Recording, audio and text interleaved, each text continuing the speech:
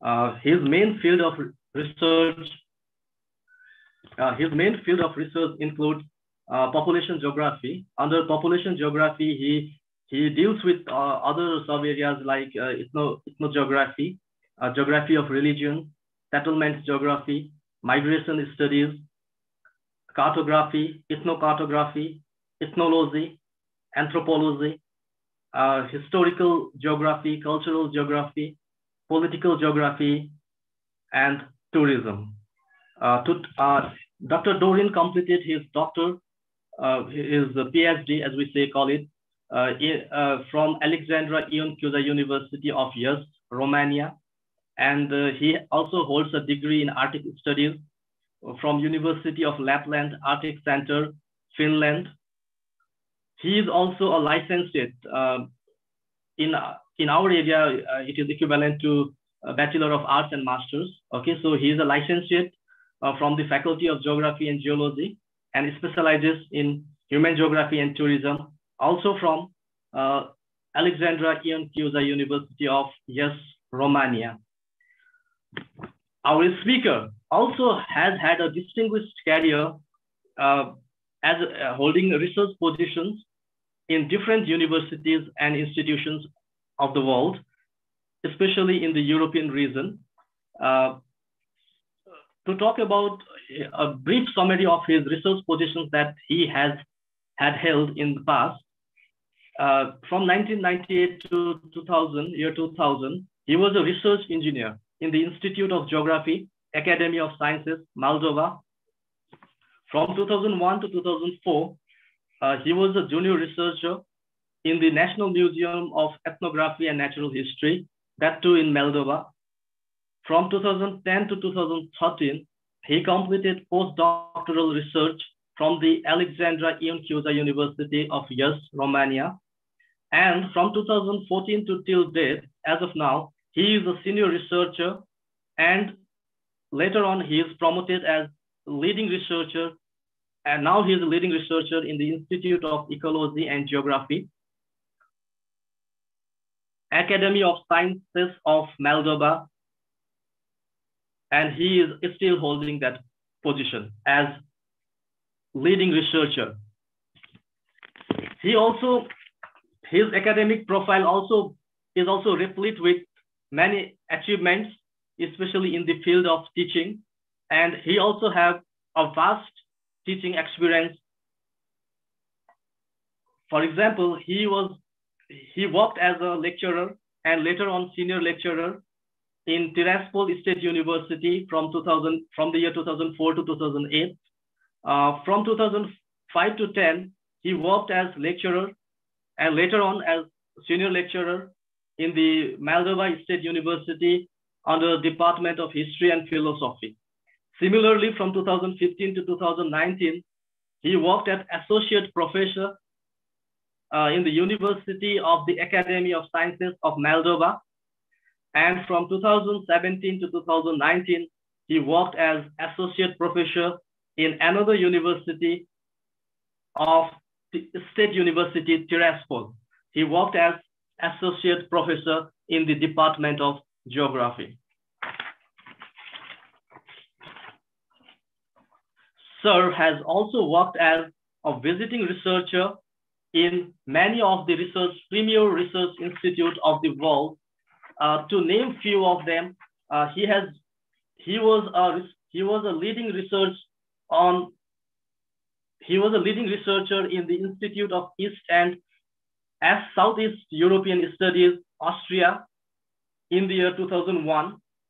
In the year 2005, uh, he worked as a researcher in University of La, La Sapienza in the Institute of East European Studies and Department of Human Geography, Rome, Italy. Similarly, in the year 2017, he was a visiting researcher in the Leibniz Institute for East and Southeast European Studies. In the year 2018, Sir has worked as a visiting researcher in the University of Copenhagen, Denmark, Department of Geography and Linguistics. And in the year 2020, he, he was a, a fellow researcher in the Leibniz Institute of Regional Geography, Germany for five months.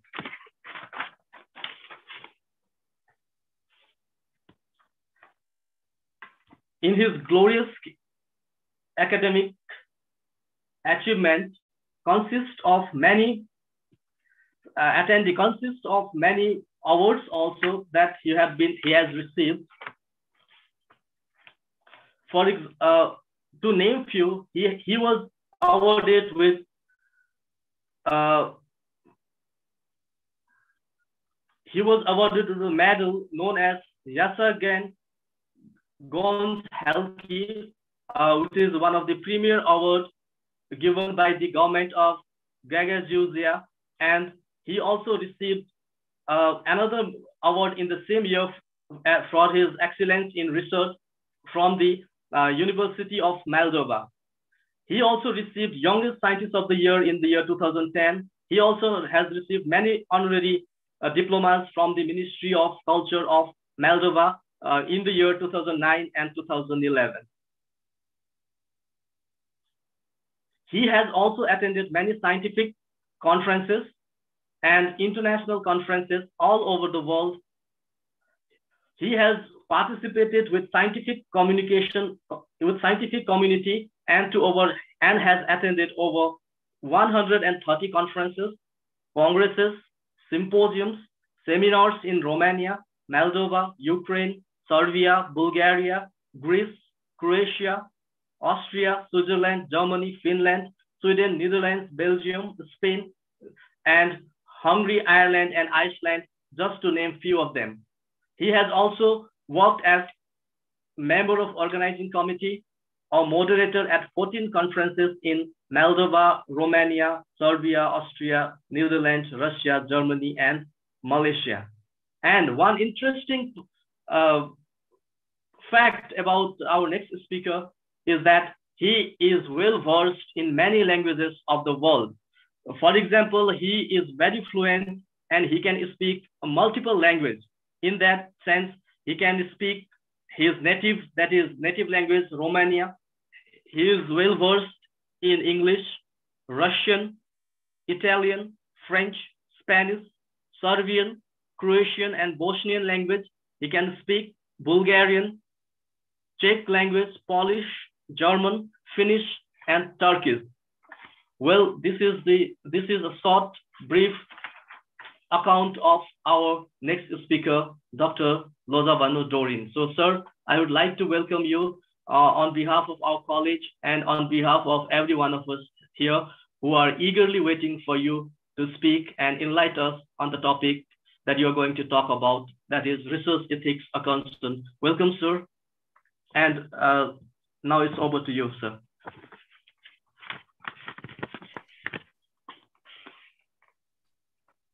Yes, thank you very much, uh, uh, uh, Professor uh, Dinesh Adhikari, for so uh, uh, long introduction and with many details about my scientific background and about my my studies.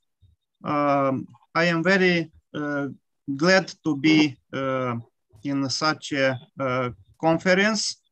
Um, it's uh, um, a honor for me also to, to be with you and would like to thank to uh, organizers. I would like to, to thank the uh, Dr. Unish Suba for a kind invitation and the taking care of uh, this event. Uh, I want to thank you uh, very much also Dr. Tapas Pal, Uh, who is uh, always making uh, links around the, the world and uh, introduce uh, uh, so good cooperation and new relationship in research fields between our countries and the regions. Uh, I want to thank the, the uh, principal, the director of uh, the college, uh, Shri Bidan uh, uh, Suba, and uh, to greet all the colleagues, Nicole Vasilkovsky, a friend from a longer time, and all the participants in this event. It's an interesting and general topic, I think, which can be reflected and uh, uh, can be useful for any uh, scientific fields. So I understand why it was chosen this topic at the first stage. Uh, and uh, hopefully we will have the chance to cooperate also in the future. And uh, you have my invitation to visit uh,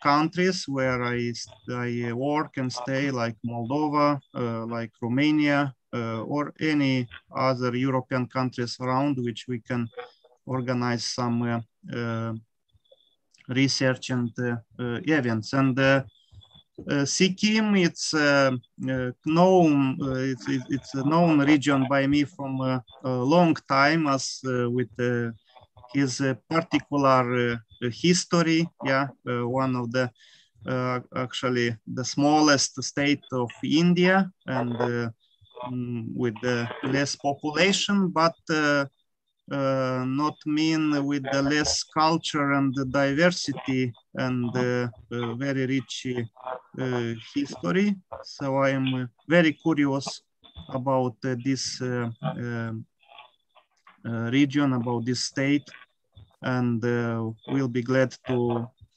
to, to have cooperation in the future as well.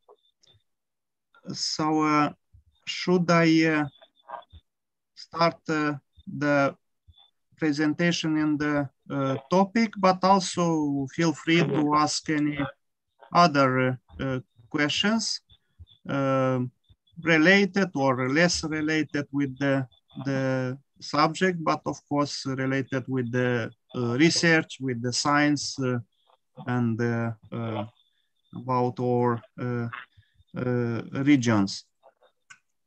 Yeah, Mr. Dinesh, maybe close the, the microphone.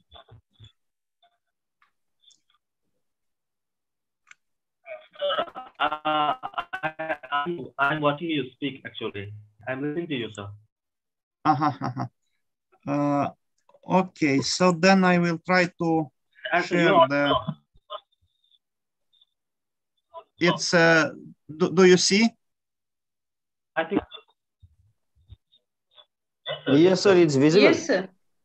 It's visible, yeah. Okay, yes, okay. Then uh, the techniques, you know, like not every time works uh, perfectly, but I hope uh, we will yes, manage in uh, in distance. We have these uh, good opportunities with the modern technologies to be very close from uh, any any part of the the world. So the the topic about uh, uh, research uh, ethics, it's of course a wide subject which we can discuss from different perspectives. And I would like to start with some introduction and the basic things about the uh, about this uh, uh, subject. Um, firstly, what uh, it's ethics, of course. We have here two key words, research and ethics. And uh, more or less, I think everybody uh, know about these uh, uh concepts, about these fields actually of, of research or uh, branches of uh, branch of philosophy, which is called ethics, and which in a very general uh, uh, definition uh, means moral principles that govern a person's behavior or the conduct of an uh, activity of uh, the person, uh, but also the branch of knowledge that deals with moral principles. well-founded standards of right and wrong that prescri prescribe what humans are, should do, usually in terms of, of rights, obligations, benefits to society, fairness, or specific uh, virtues. Uh, this branch of philosophy, uh, which was developed in um, in time from the antiquity. it was in the um, in the vision of all the philosophers, uh, starting with Socrates or Aristotle or others from the ancient Greece. Also the philosophy of uh, ancient India or philosophy of ancient China, uh, everywhere the ethics was present, like uh, a special uh, um, concern about um, the human um, behavior. Uh, so uh, this was generally to answer the question uh, with the respect of rightness and wrongness of certain action and uh, of course uh, to guide uh, to to guide the, the the persons the society to do the goodness and to avoid the badness in the their everyday life and in the certain actions and in certain uh, um, circumstances. Ethics is traditionally subdivided into normative ethics, uh, meta-ethics, and applied ethics. We will, of course, speak today more about applied ethics, applied to the research, um, but to say that, uh, of course, the, the subject is very, um, very general. Um, and the, the word itself, uh, it uh, have origin from the ancient Greek, uh, from the uh, ethikos, uh, ethikos meaning relating to one's character, uh, which come from the root of uh, ethos, means character or moral nature. about the research, of course, it's also um, quite general word and quite general uh, uh, meaning of, of this uh, process of systematic inquiry that uh, entails collection of data, documentation, or critical information, uh, analysis and interpretation of the data uh, and information um, using specific methodologies and conducted by the professionals uh, in the uh, field of different uh, academical disciplines. Uh, the word itself, it's uh, in, the, in English, of course, uh, come from the Middle French, from recherche, recherche, which means to go about seeking, to, to seek something, so to, to, to search finally with the purpose to find uh, a truth, a truth and uh, an objective answer to any process or, or phenomenon. Uh, of course, we can defining ethics also particularly by branches of different scientific disciplines.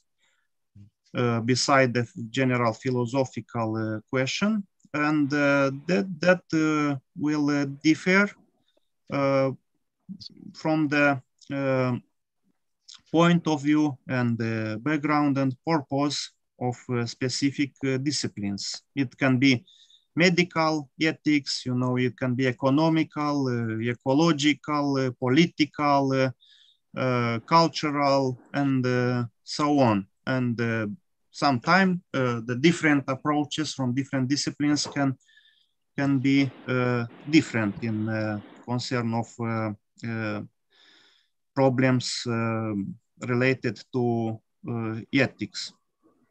Mm. There are several reasons uh, why uh, research should adhere to the ethical principles.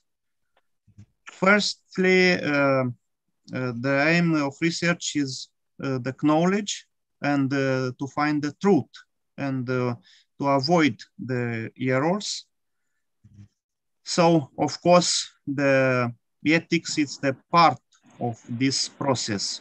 Uh, then uh, the research involves a great deal of cooperation and coordination among different people and uh, institutions.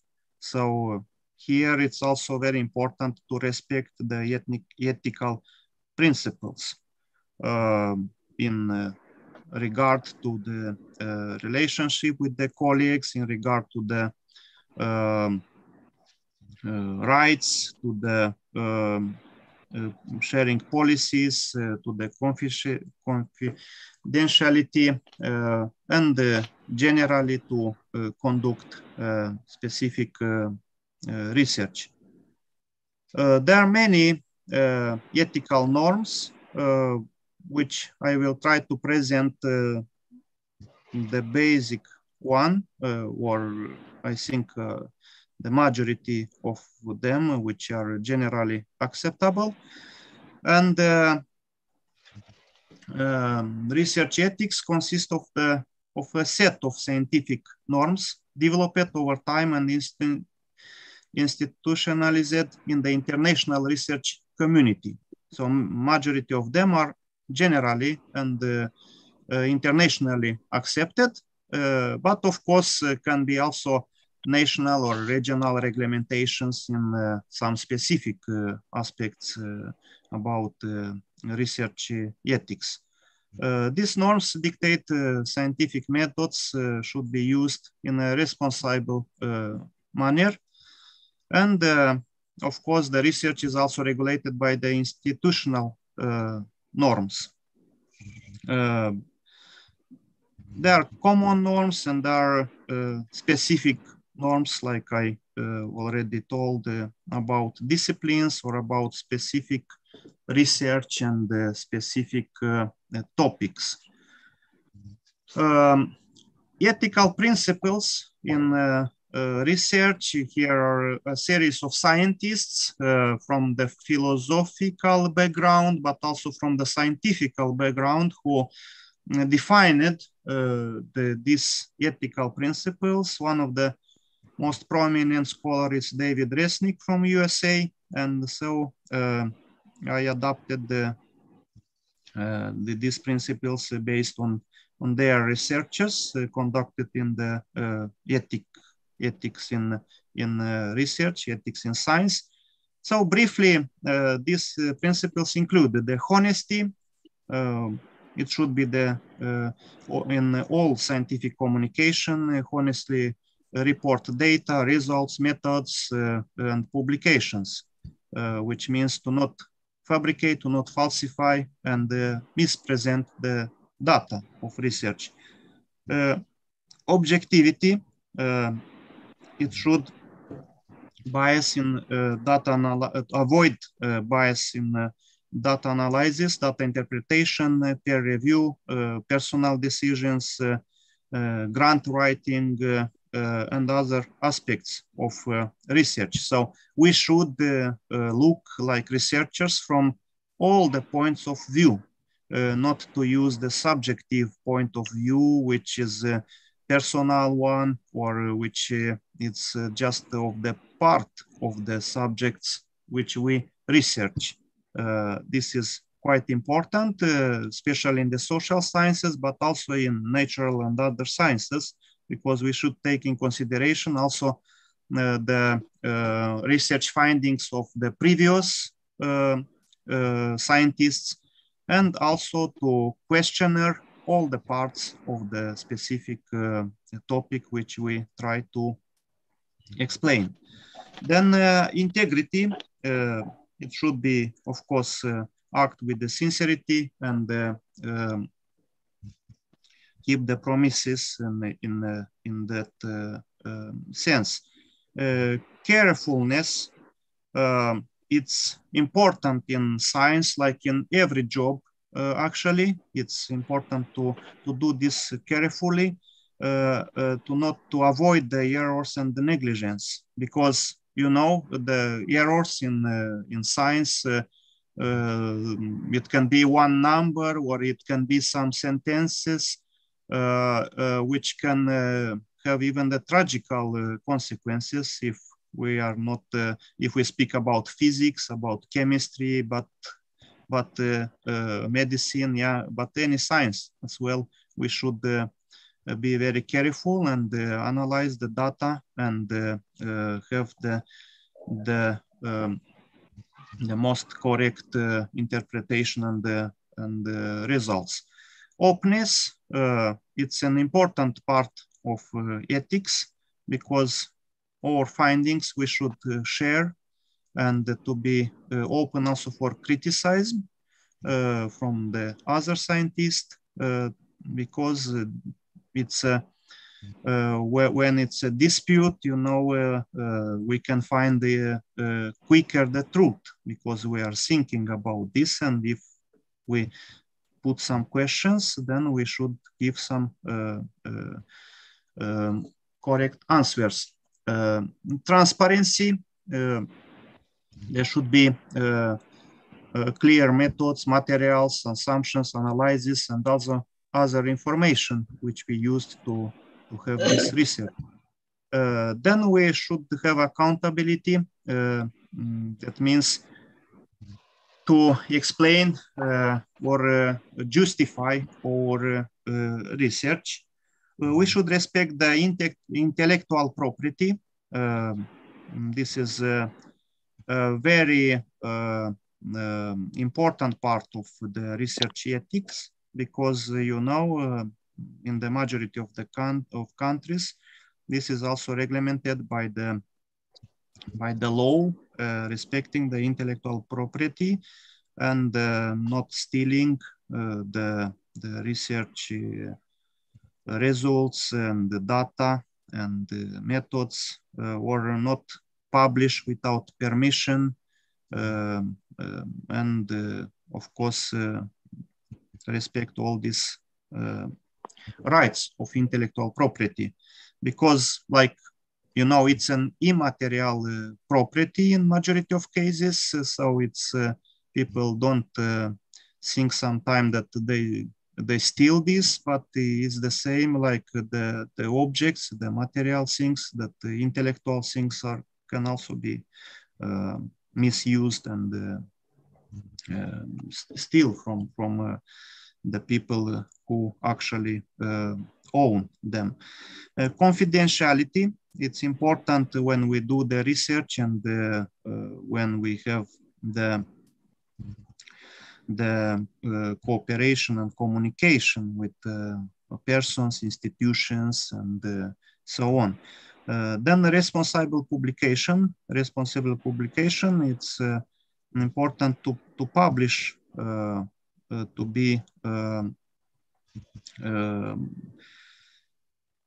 knowledgeable by other scientists and public at large and not this is the way generally the science is making their results. Uh, also responsible mentoring because uh, all the uh, professors, scientists who have already a status of uh, already a specialist uh, should also educate, mentor, and advise uh, students, master students, PhD students, uh, or other uh, young researchers. So they, this relationship uh, should be also as correct as possible. Um, respect for colleagues, colleagues in the same way, social responsibility, uh, non-discrimination, and uh, competence, uh, maintain and improve also our competences because we are learning all the life. Nobody is, nobody know everything. So uh, it's important to understand this and that we itself, we are performing by every day and by every research we do. Uh, then uh, legality, we should uh, comply with the relevant law and institutional and governmental policies. Um, then in the particular researches, we also should care about animal care and uh, human uh, subject protection because uh, we different researchers in the fields like of life sciences, you know, or or uh, natural sciences and uh, medicine uh, involve sensible, yeah, sensible and complicated aspects, which have their specific ethics. You know, the also bioethics, it's a separate discipline, uh, quite important and quite uh, um, with their regulations. Uh, there are many also other activities that the law not obligatory define as misconduct, but uh, which are still regarded by most researchers as unethical. So um, I will not uh, uh, mention all of them because this depend also about uh, different opinions and about uh, different uh, aspects we can involve. But generally, there are different aspects which are not um, welcome to be used and uh, uh, should be also in according to ethics to be uh, avoided. For example, publishing the same paper in two different journals without telling the editors or the submit the same paper to different journals without uh, telling the editors, uh, not informing uh, um, collaborators about the, the um, your research which you want to do and, and if you have of course co-authors uh, the favors you know which are used sometimes personal uh, relationship uh, which are not related to to research uh, discussing the co confidential data when you are reviewing a journal um, also using of data or methods or ideas without permission um, using inappropriate statistical technique, um, conducting a, a, review of the uh, literature that fails to acknowledge contribution of other uh, people and researchers in the field. Uh, giving the same research project, for example, to different uh, graduate students uh, in order to see who will be the better. Um, overworking, neglecting, exploiting graduate or postdoctoral uh, studied uh, uh, students, uh, failing to keep good research records, uh, making uh, derogatory, derogatory comments and personal attacks to colleagues and review authors. then using, of course, different other um, tools and harassment or uh, racist or nationalist or you know xenophobical uh, approaches in science and among the colleagues. So this can be different examples, which maybe you will not find obligatory in uh, uh, some uh, regulations, but they are of course, also not in concordance with the research uh, ethics, not to say like stealing the materials, the books, uh, uh the ideas, uh, uh, making unauthorized copies of data, papers, and so, so on. There it's, of course, um, these principles and um, um, general aspects of uh, research ethics uh, have a um, responsibility. Uh, the responsibility for for uh, research ethics, it's uh, in uh, the same way with the principles of research ethics. so they are free and independent research. researchers show, should enjoy the individual freedom and have real independence uh, this means, you know, in many countries, in many situations, researchers are pressed uh, by the uh, governmental, by the institutional, uh, by the political uh, um, subjects, uh, which try to to deformate the research findings or to to to to have just uh, one uh, specific conclusions uh, what they want to use in some aspects, especially connected with the, the policy and so on. So researchers should be independent um, politically and from other aspects of um, thinking uh, subjectively.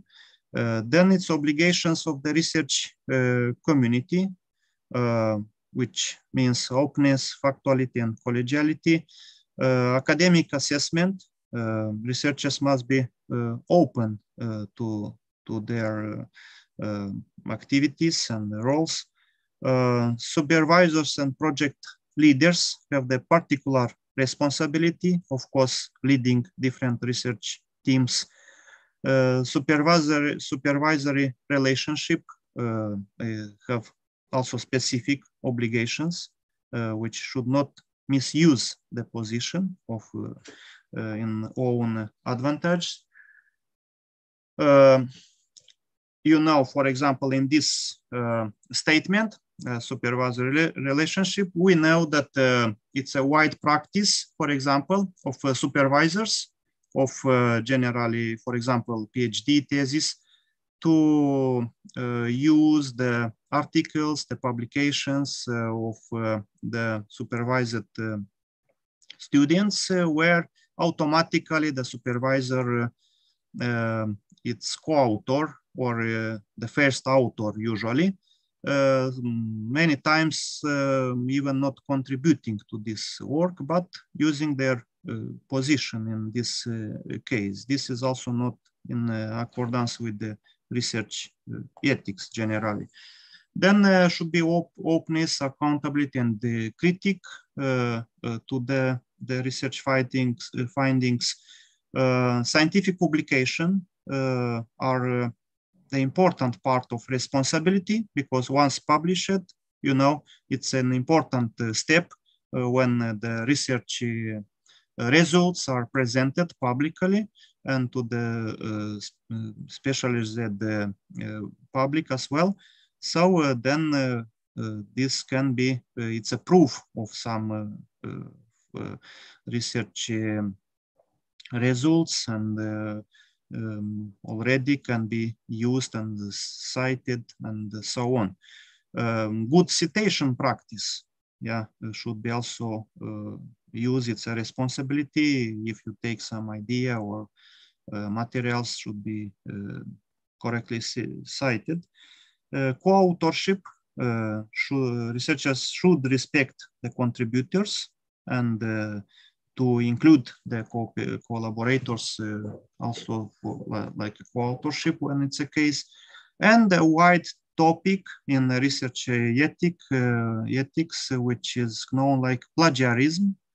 Yeah, stealing someone else's work and presenting it as one's own, uh, it's incompatible with good scientific practice. And we know this. And uh, um, in the past, it was more difficult to find maybe sometime.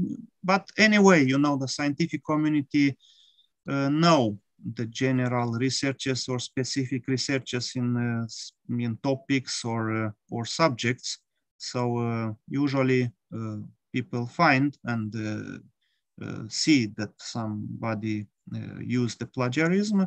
And nowadays it's also soft programs used even for the master degree, PhD degree, and uh, undergraduate even uh, to find that their uh, theses are not um, plagiated um, by, you know,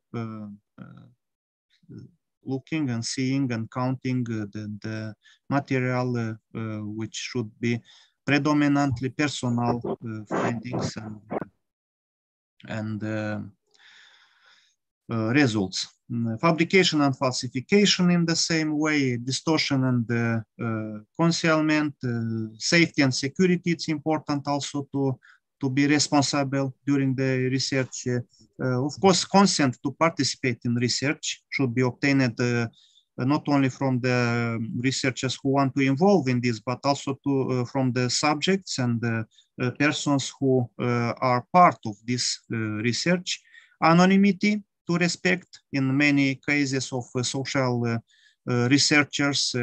this is very important point and should be stated and respected um, till the all all the time of uh, during the, the research confidentiality. Uh, this means you, when you know the the subject, but you should keep it confidential. Um, it's also a part of research uh, ethics. Then um, closer to my researches, I want just to, to give some examples uh, because I am, uh, like was mentioned, the specialist in the uh, in the human geography and the ethnology, ethnic studies, anthropology. Uh, so uh, I deal more with aspects of cultural, ethnic, linguistic, and different social background. So uh, here it's also important to respect for cultural differences because of course we can have some uh, international uh, rules about work in uh, specific uh, regions. And uh, then we should be well prepared uh, when we do a research in a specific country, specific region, specific community uh, to uh, avoid problems and to comply with the traditional ethics in these cases. this means also to respect the cultural heritage and uh, then it's very important to to know uh, the past and the the present and uh, to understand the perspectives of specific subjects we want to research and take the responsibility. Um, that factors uh, influence the research ethics in different countries, regions, or specific communities, which can be of cultural, ethnic, linguistic, confessional, yeah, psychological, uh, political, or legal uh, uh, background. Uh, we should then have the good knowledge of, of these, all these aspects. And this is, for example, from generally from my my researches around the world, uh, like in uh, um, Europe or uh, Pacific region where I was. And uh, of course, everywhere you should follow some uh, customs and traditions when you deal with the specific research. Very sensitive questions are re re related with the uh, religion, yeah, and all the aspects of uh, spiritual life of the people and communities. Uh, there you should now many taboo, for example, or many aspects uh, which you can uh, um, uh, avoid or you can should or, or, you should do in order to be trustful and respectful to that particular communities. Um, then cultural uh, traditional um, yeah, factor it's also uh, very specific and uh, important. Mm, so that this can be in many ways, for example, yeah, uh, starting with your um, appearance and how you are dressed, for example, because in some societies to be half naked, it's quite a normal aspect, you know, and nobody will uh, judge you. In other societies, it's uh, totally unnormal and uh, you should follow the specific uh, rules then to avoid the problems and conflicts and of course to, to have the access to that society and the communities.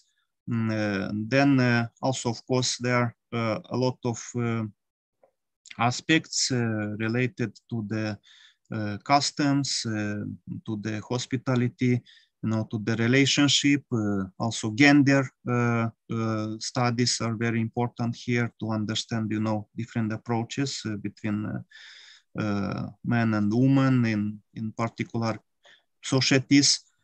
so, for example, mm, yeah, everybody knows about more conservative Islamic communities, yeah, where especially maybe for women sometimes it's difficult to do uh, research in uh, in certain uh, subjects and you should be properly dressed. Yeah, you should also have proper food. Yeah, um, to not share some customs which are not uh, acceptable in that uh, societies. But even in uh, other societies, for example, I was in researching in the Pacific Islands like Tonga, like Kingdom of Tonga, like Vanuatu, Tuvalu, Fiji. So particularly in Kingdom of Tonga, for example, people are also Christian, Methodist Church, but very conservative. So um, you should dress like uh, uh, more officially usually they're not uh, um, welcome to be uh, dressed uh, like in um, informal way especially if you pretend that you are a researcher and want to do something then implicitly it's important to have this looking because these are specific you know customs and uh, um, uh, even regulations. You know, your uh, neighbor country, Kingdom of Bhutan, yeah, Drukgyal, uh, which have uh, quite uh, also strict regulations considering your appearance and clothes in official positions, yeah, in teaching in schools or universities they should uh, respect the, the specific uh, dress and so on. Um, of course, same apply for, for majority of uh, countries. In my country, we are also, let's say, comparing to other European countries, still quite traditional. So um, yeah, the, the relationship in the um, university or uh, research ethics, it's still uh, also Uh, with uh, some uh, aspects of polite and uh, also some aspects of dressing. You know, you are not so freely like maybe in uh, some West European countries where their post-modernist society, you know, perceive differently the, this already, you know, like rules. then my research, for example, was uh, a lot about the population studies uh, with the ethnic background. So there are some samples, for example, from the Balkanic region with the different Romanian communities, Romanian speaking communities. Moldovans uh, are part also of these groups of Romanian speaking communities in, in the southeast of Europe. Then, uh, of course, uh, there are many uh, aspects of um, specific importance to to follow when you conduct such researches. generally, like an ethnologist or like uh, uh, social scientists, like anthropologists, ethnologists, uh, population geography, uh, when you go in the field researchers, um, many people are confused about you. Uh, um, you know, people uh, usually, for example, they they understand the geologist after some expla explanations uh, why they are do something because they will find some uh, gold some uh, oil some other useful things which can be then converted to money so this is more or less clear for even for the remote societies uh, who uh, already understand the, the, tasks of this kind of researchers. Then uh, there are archaeologists, you know, who digging in different regions. Also, they can do something and find some treasures and it's also uh, more or less clear that they do some useful things but when it comes to sociologists you know to to ethnologists, anthropologists who came and uh, should interact very much uh, with the people and uh, with uh, different persons and uh, put many different questions, sometimes sensitive, you know, sometimes uh, general. people um, are not always trustful and um, many of them ask, you, but why you do this? What is your uh, Uh, purpose you know uh, what income you will have from this what, what uh, uh because uh, many people for for example even in, in moldova and many other regions when I'm doing such researchers and colleagues, we are can be aggressively treated because are confused with the some with the governmental representatives, you know, with the, some propagandists of political parties or of uh, uh, religious, uh, you know, communities, because people think, you know, they they meet some other people who, who came to put some questions and want to get interaction and uh, they think um, that we uh, uh, wrongly that, that that kind of researchers also come with some propaganda to them research is uh, total should be totally reverse. You know, if some people, for example, with political uh, uh, purposes, they uh, they uh, really have the the the the target uh, to make some propaganda. we, like researchers, should avoid this totally and understand and take the objective information to put the neutral questions and get the uh, the most possibly objective uh, uh, answers. So in the, for example, uh, important question, it's ethics in field researches. So ethics in field researches, yeah, we are working, uh, uh, we, it can be also natural sciences, which have their ethics of conduct because of course uh, you don't ask uh, the crocodiles or the uh, uh insects uh, if they accept to to be researched or no but uh, anyway you should also have there uh, the ethics of uh, um, of uh, bioethics you know and to to have also the ethics of respect respectfully to the nature and to harm as less as possible uh, by doing these researches. But with the social sciences, the things are even more complicated because you should ask the permission usually of the people where you want to research and put the questions.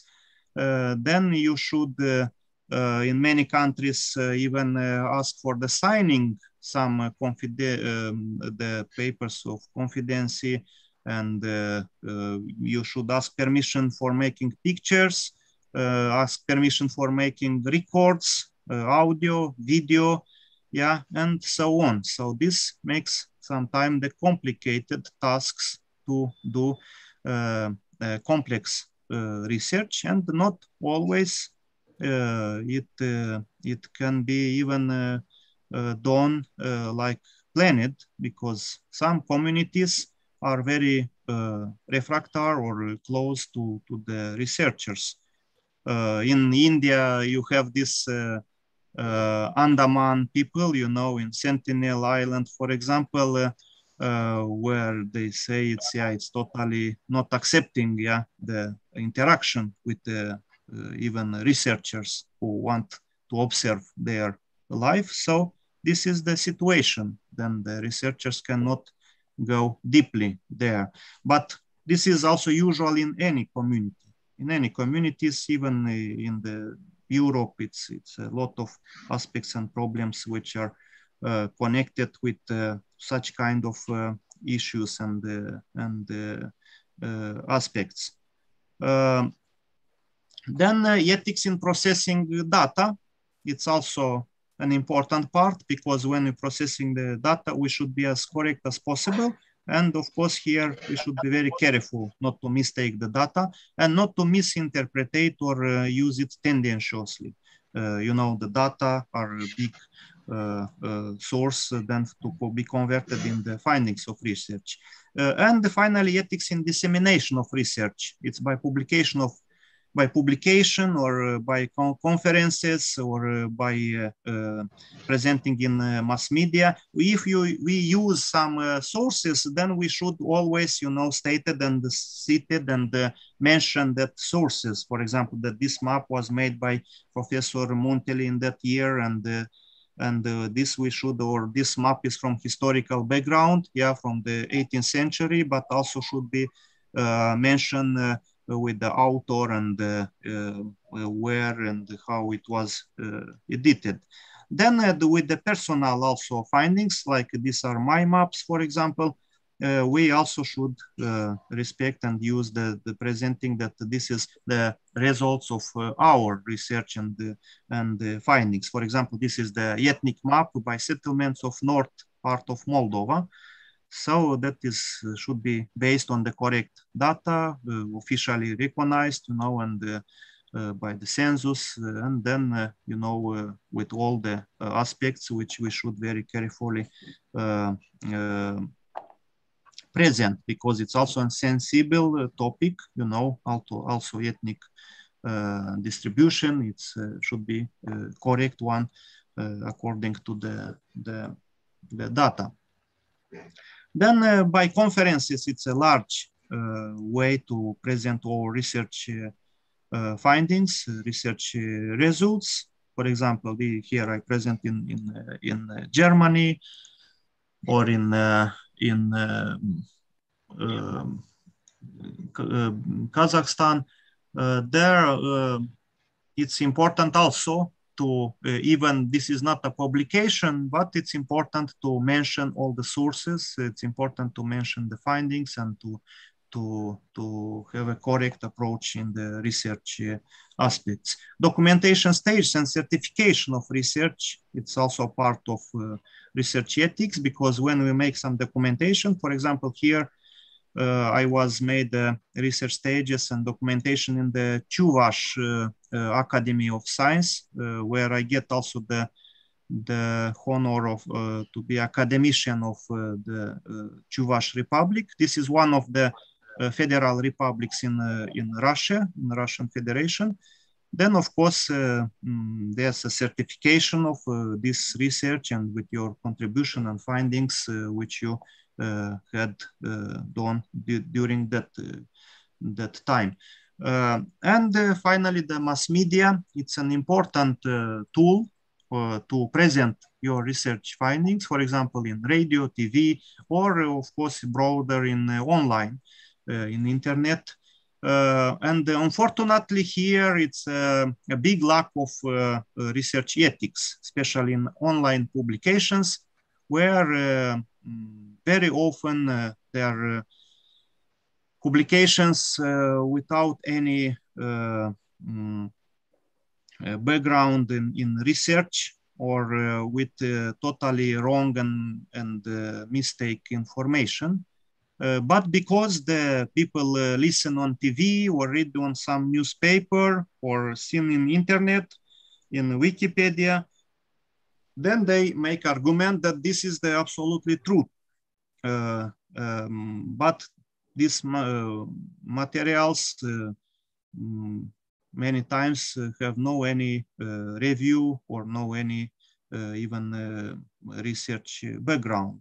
So this is a problem also in research, like in uh, general problems of fake news in the society. You know, uh, it's a it's a wide topic to be discussed as well, and very important also in research to be um, and at least uh, here should be the general ethics uh, to present the things. You know, if you don't know something, it's better uh, to be quiet and not write or not say something than to say wrong and mistake things.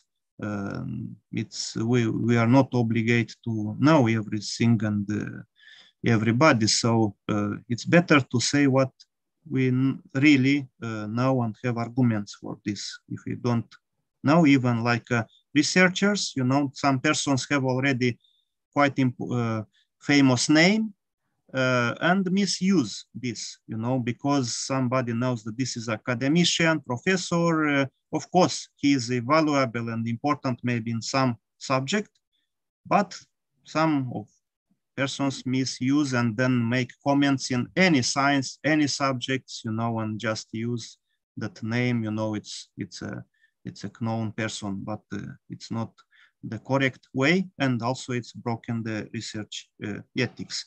And finally, the uh, research ethics uh, are regulated by international law, by national law, uh, sometimes by different regional institutional laws, uh, code of conduits, and the majority of them uh, remain still unofficial principles, which I was already presented and spoken, not obligatory uh, written one, uh, but many of them, of course, people, uh, all the people will consider that should be in this way because there are some general uh, things of uh, humanity and other one which are more specific, you know, uh, are regulated and specified in the research aspects.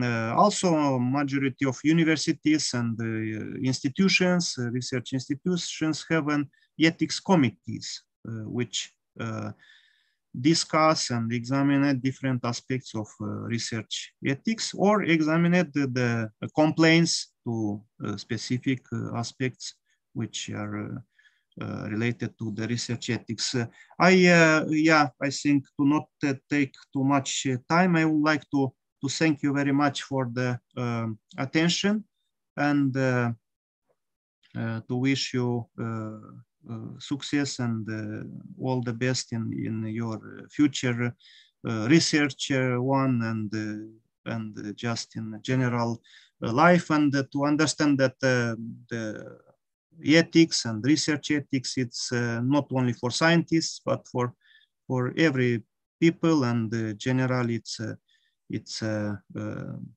um, code of conduct you know if you try to do uh, something in in uh, any jobs and any uh, institutions and organizations. And of course if you come to publish and to uh, share your uh, some findings and research should uh, follow the research ethic principles and regulations to be respected and to have a um, positive uh, uh, and correct uh, information to be shared to, to the to the public. Yeah, thank you very much once more. And if there are some short questions, I am still uh, here to answer.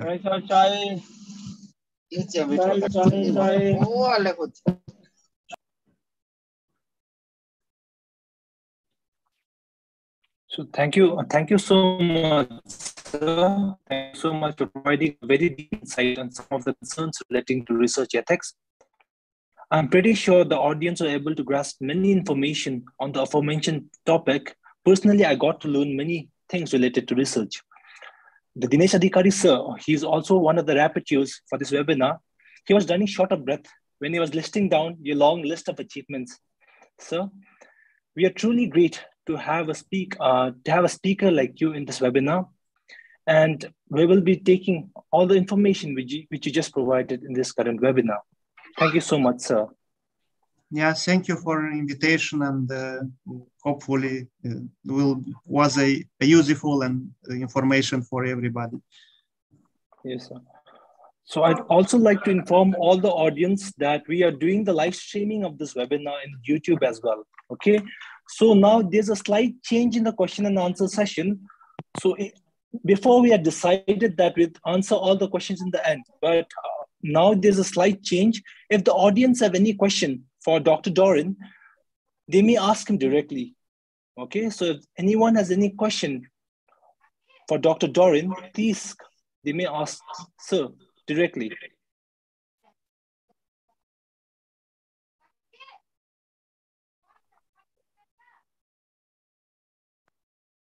Yes, yeah, yeah. I will try to answer by uh, by chat if uh, will be some questions.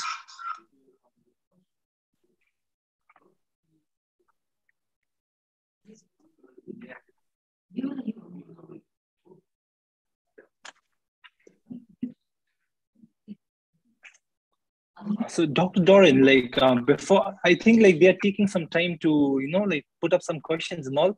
So till that time, I'd like to answer, ask you one question, sir. So right now, like there's a concern about predatory journals. Right now, there's a very common thing about predatory journals. Uh, like lots of articles are getting published. Some people are publishing like four to five articles in a year, which is not possible, sir. Which is not possible if you do it ethically. So uh, can you please tell us like some other ways which we can stop this thing, sir? Where we can stop this predatory journal, which is really ruining our current research things right now. So I'd like to know from you, is there anything which we can do from our end to stop this act of predatory journal?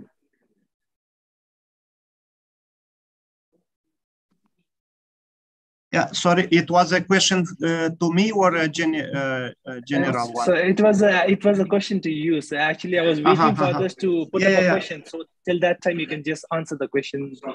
If, yes, if yes, I will try. Uh, I will try very shortly, of course, to to to answer some sure. questions.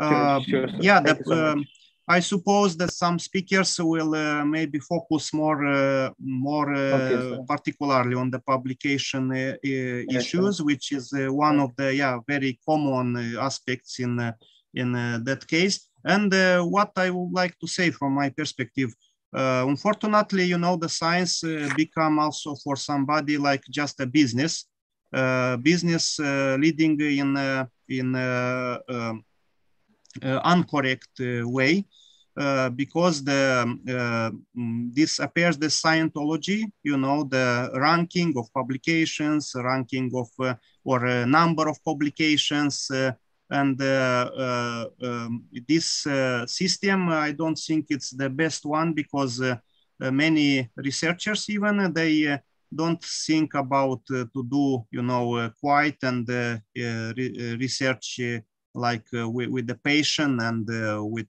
the, their uh, background to get the true, but are forced even by the system sometime to publish as much as possible in different um, journals and and then uh, it's uh, then then it's uh, journals that that profit from from this part and the, they are uh, starting to to uh, take money uh, with the promises that it's a publication of the ranking of Web of Science of other Scopus or other issues.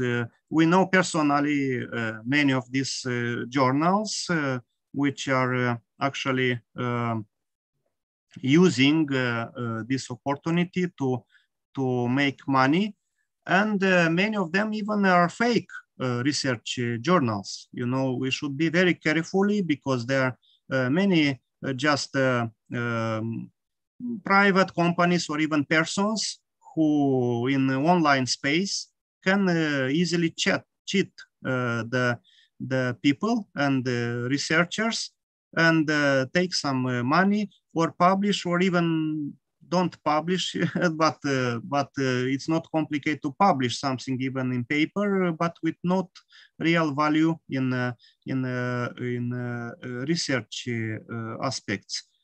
so for this reason, there are many committees. You know, for example, in almost every country have their accreditation process of journals so like in Moldova, we have different categories of accreditation, A, B, C, D, you know, the journals with different ranking, which are uh, seems to be examined by the scientific committees and uh, given the priority, then you can check uh, that the, these journals are really part of uh, some uh, uh, scientific accreditation and networks internationally or nationally.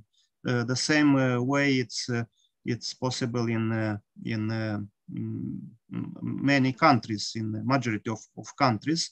And uh, it's better to publish in a honestly uh, maybe lower ranking journal, but uh, which is still a, a, scientific journal, than to to to try to to hunt for some publications uh, which are fake one research uh, Uh, meaning uh, there it's uh, absent uh, and there it's totally a different purpose of that so-called publications. So it's better to have advice from the supervisors and from the institutional committees and um, also to, to look in, in the um, systems of accreditation of any journal and publication. Of course, I don't want to say that everybody can pub we, are living the free society so everybody can publish a book yeah or uh, uh, something uh, but this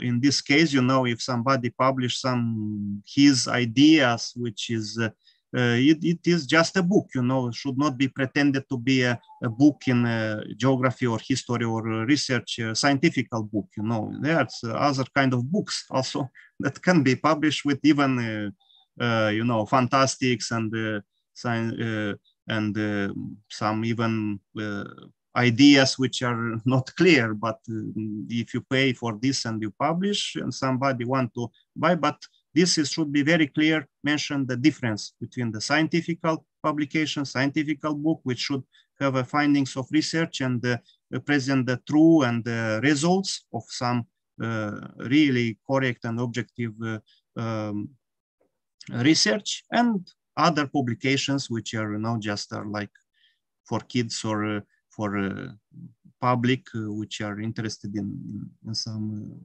other uh, just literature, you know, to, to, read some other things which are not based on the research and not based on the to present the, the truth or the correct aspects obligatory.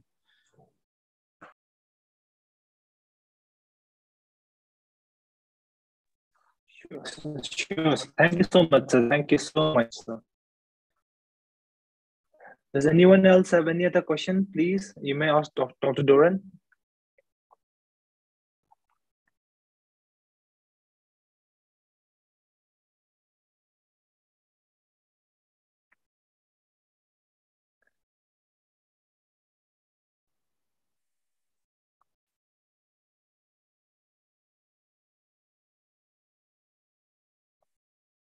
So I don't think so. There's any question coming up. I think like the information which you have provided is pretty clear to all the audience.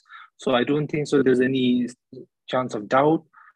So that's why I don't think so. Audience is asking any questions, sir. So whatever you have provided is really clear to all of us, sir. Thank you so much, sir. Thank you so much. We're really grateful to have you as a speaker of this webinar, sir. Thank you so much.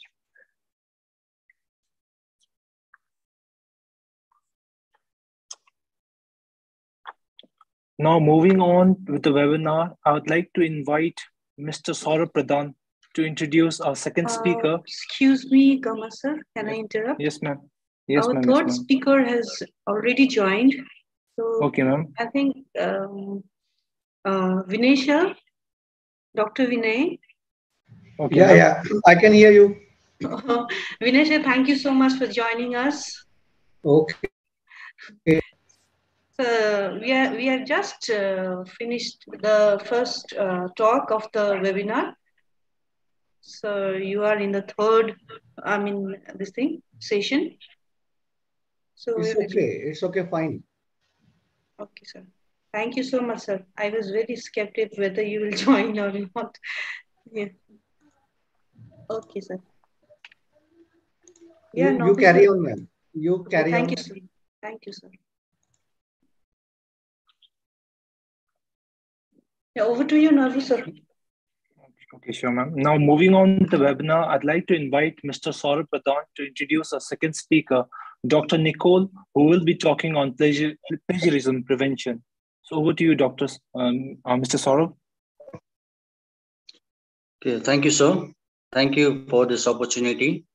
I think I'm audible to you. A very good afternoon to one and all present, one and all involved in this uh, international webinar on research ethics. So very quickly, I would uh, like to uh, welcome a very famous personality, Dr. Nicolette Veselovsky. She is a native Romanian. She has done her PhD in economics, economic diplomacy, and international affairs. She is a prolific writer. She enjoys working in multidisciplinary fields.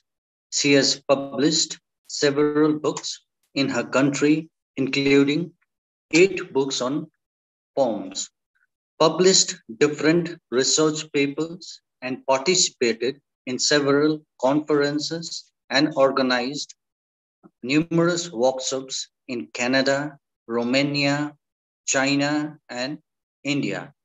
So her biography is very much decorated. Her works speaks a lot about the kind of personality she holds. So also, she is a collaborator of Stefan cel Mare University of Suceava, Romania. She is currently teaching social studies and pre-calculus for a Sino-Canadian international program, uh, program in Shandong, China. Uh, when we talk about her being a writer, she has uh, very beautifully uh, jot down her collection of words in the form of poems. Some of her well-known and famous poems are as follows. The spell of attraction, in token of love you gave, in the spring of love, I have been pierced by the arrow of love, the arrow of love, elusive time, love, explain me love, love letter. So it is an honor for us to have uh, such a great personality who will be enlightening us about the plagiarism. So when we talk about uh, plagiarism, it is very much important because whoever is associated with research, knowingly or unknowingly, we are uh, we we do got get involved sometimes into this plagiarism. So plagiarism is an unauthorized use of parts or the whole of any book without giving proper credit to the original creator. So understanding why plagiarism often helps in helps happens is essential to avoid it in the future. So without uh, wasting uh, much time, uh, very quickly, I would like to uh, welcome uh, Madam uh, Dr. Nicolette Veselowski to enlighten us with your with your colorful words towards the given subject, plagiarism prevention. Uh, thank you very much for this wonderful introduction. I'm I'm surprised that you actually did more research and found out some of the poems I wrote. That's impressive. Thank you, Mr. Samal. Okay, thank you, ma'am. It's an opportunity, great opportunity for us to get enlightened by you, ma'am. Over to you, ma'am. Thank you, ma'am. Thank you. Uh, I'd like to thank the organizers for this opportunity to join uh, this wonderful uh, workshop today. And I'm very glad to see uh, also the old friend, Mr. Lozovanu, Dorin Lozovanu, and also uh, Mr. Tapas Pal being present here and uh, so many wonderful participants from uh, uh, different countries, including India. India, that is like uh, a wonderful country continent with so many languages and cultures, and um, also with very talented people that are also uh, wonderful scientists and writers, and um, as well they um, work in different fields and are uh, making a lot of contributions internationally if we speak about engineering, for example. I'll try to share my, um, my screen. See if I can share my screen. Okay. Can you see my screen? It's visible? Yes, doctor. Yes, perfect. So we'll discuss about plagiarism prevention. Uh, and I'd like to take it more like a specific example with uh, uh, how to do this when teaching uh, different subjects. I'll include here uh, geoeconomics as an example, and as well, um, I'll discuss about uh, the social studies. And I'll give some examples from the uh, scientific uh, fields as well to see a little bit um, how different researchers are showing different ways on preventing a plagiarism. So uh, why we discuss about uh, geoeconomics as a discipline, we know geoeconomics uh, as an aspect influencing the international relations, especially after the uh, Cold War. It was uh, a concept coined by uh, a researcher born in Romania, but he's an American researcher. His name is Nicolae Luttwak. So he described geoeconomics as having the countries changes their um, uh, main interest from, from geopolitics mainly to geoeconomics. So as during the Cold War, there was that uh, conflict called conflict between uh, the, the, states and uh, the Soviet Union. After the collapse of the Soviet Union in the 90s, we have other perspectives that are um, uh, perceived as more important uh, and as uh, at the international level and more other actors as well. We don't have just the states, we have also international corporations that uh, start to, to join and we have the working force spreading globally. So therefore, there is the need for the education as a key to prepare this working force for the future, to prepare students to be able to understand this field, to understand how they are going to, to labor and uh, to work in the future, and how they should organize their research and what is this research about and how they can avoid plagiarism. Uh, because as my, uh, my colleague uh, Dorin presented that part of the ethics in, uh, in research, we have the ethics in the research, but another important aspect that we should follow in research and that can help us to prevent plagiarism is as well education. We need to make sure that some people receive the, uh, the that people receive the, uh, the amount of education necessary to know what plagiarism is. Some people are plagiarizing without even knowing and it happened uh, to a very well-known person in Europe that plagiarized from me. And then it was found out all in Spain or all over the Spain, they were talking about that what that person plagiarized from me exactly on economic diplomacy field. Um, and then it found out that actually plagiarized a mistake from one of my uh, my draft papers for one of my articles wasn't even the article plagiarized a mistake from a draft paper and this is how it was found out about what that person did.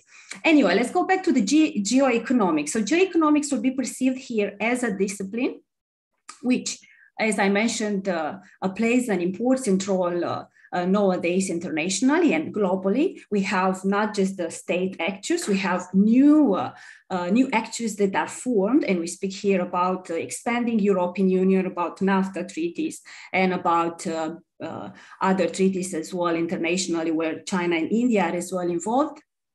We have those interconnection between geography and economics that are are transforming the world and are also asking for the uh, um, for the flexibility of the workers. So therefore, those workers that are uh, starting to migrate, they, they also have to be educated in order to adjust uh, at an international um, uh, at an international stage. So this paper tries to present uh, different steps that that can be followed in order to teach and learn in an interdisciplinary subject like geoeconomics or social studies in general. And here we refer to geography or history or um, as well philosophy or psychology or uh, other aspects of the, of the social studies field. So here we need to uh, teach those disciplines in a meaningful context. Uh, so this is a, a, part of this presentation for, for my paper today, and as well, uh, analyzes in the second part of this paper, I'm going to analyze plagiarism and as well to present different ways of, uh, of uh, avoiding plagiarism and different examples from researches that, that were done uh, in the, in the um, 20 and 21st century.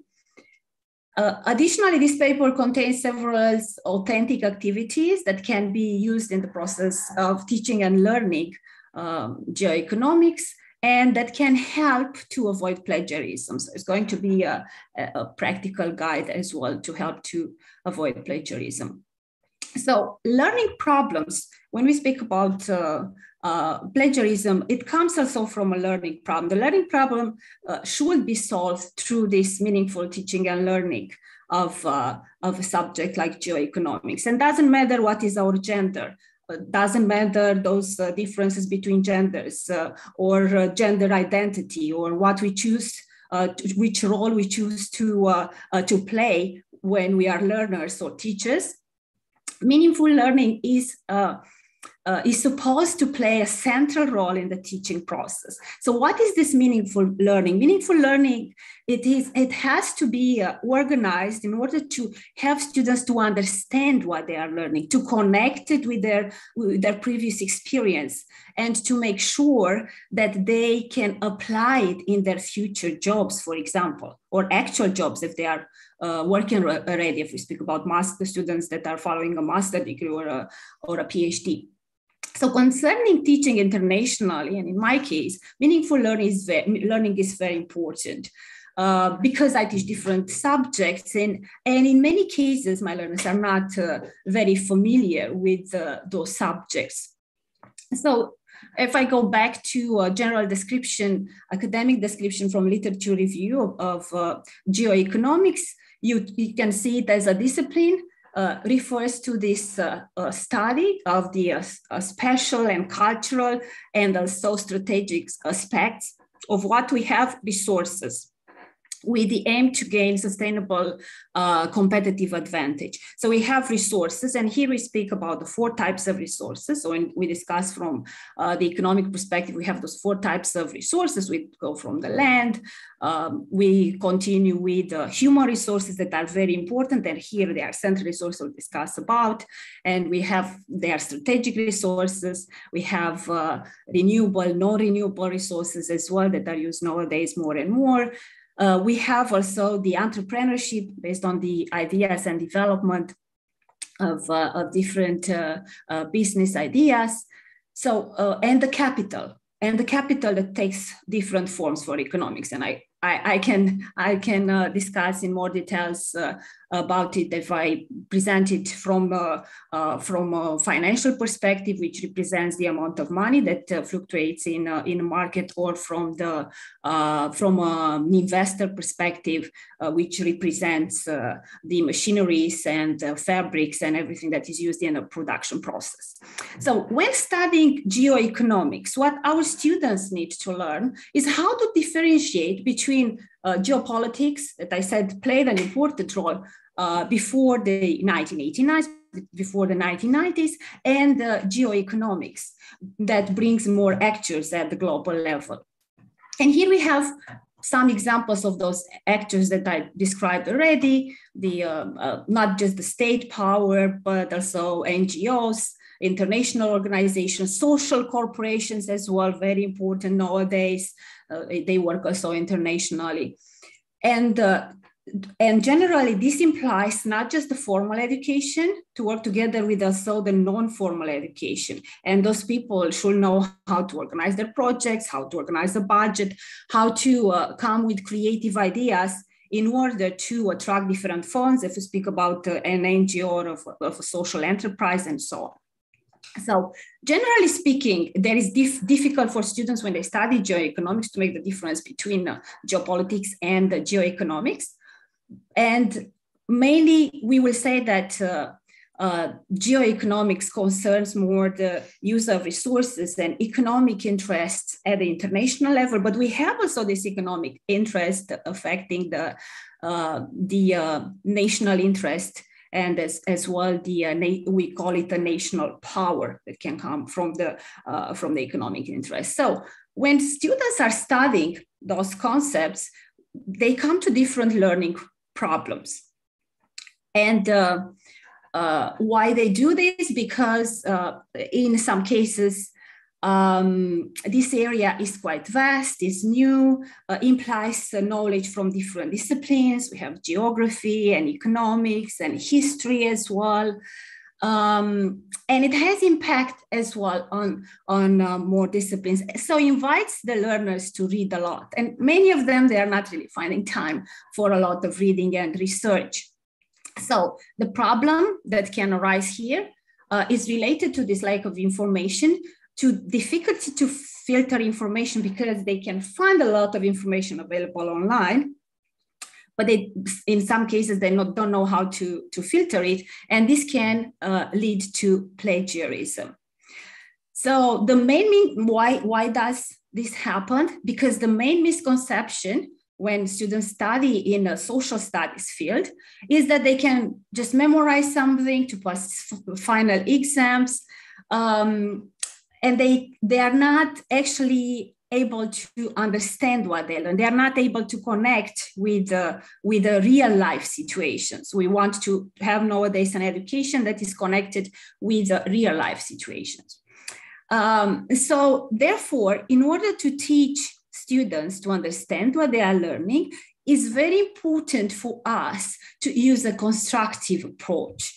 So one researcher that analyzed the role of this constructive approach showed that this improves the social skills that are very important in the social studies, improvement of the skills.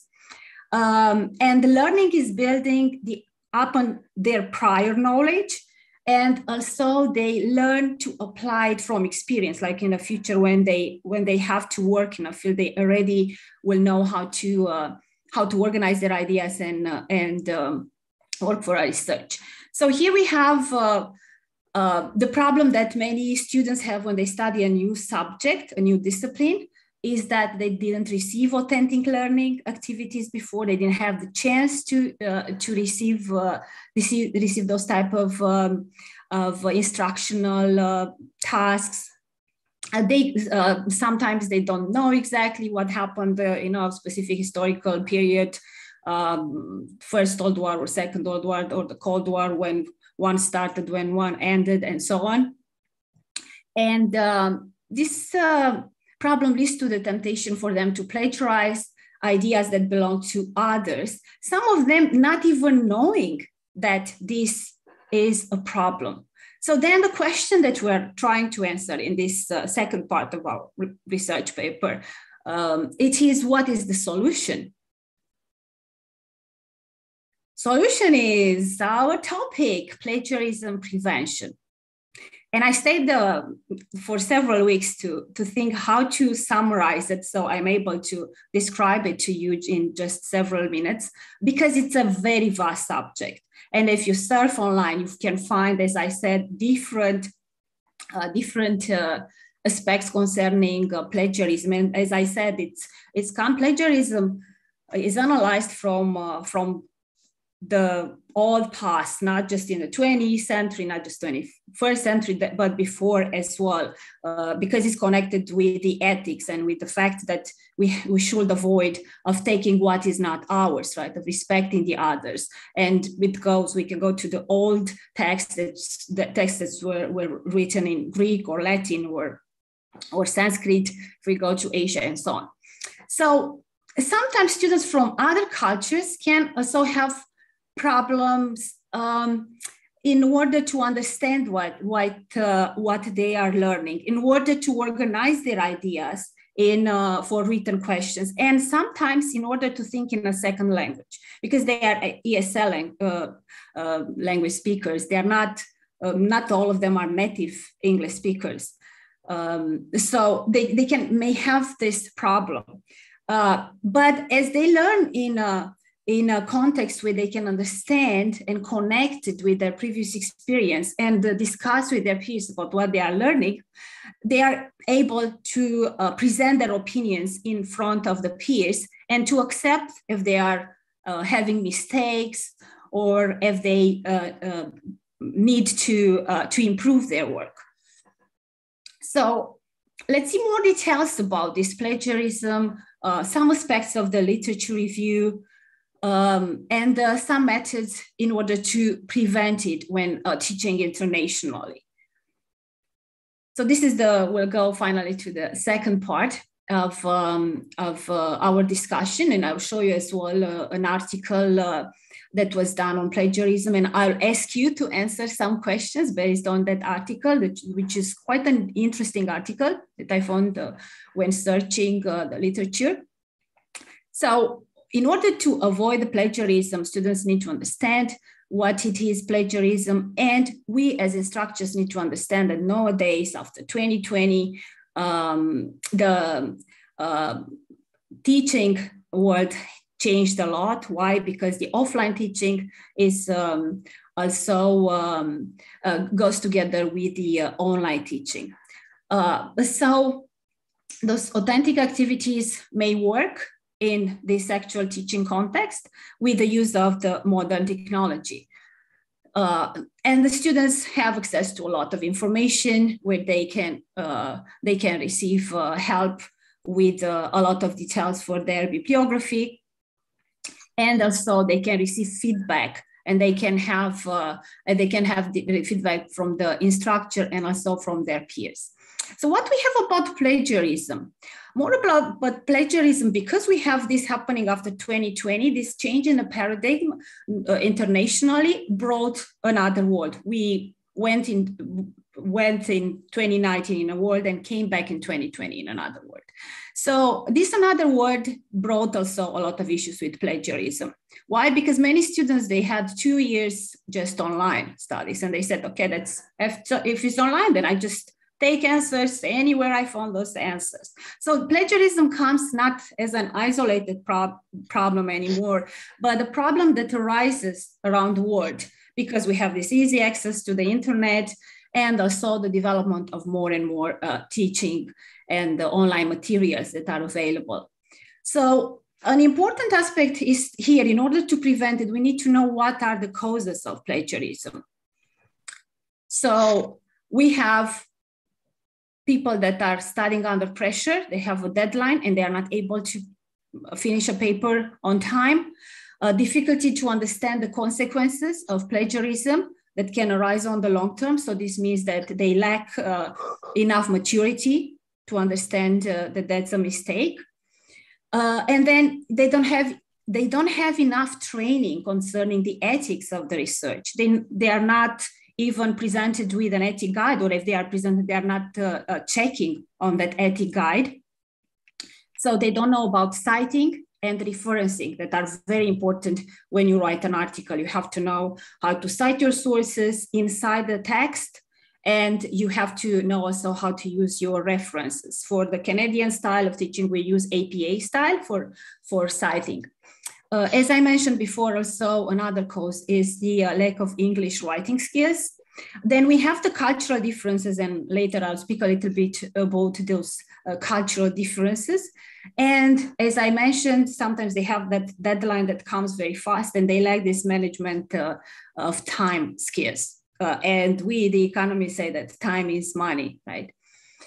So some examples from literature review on causes of plagiarism.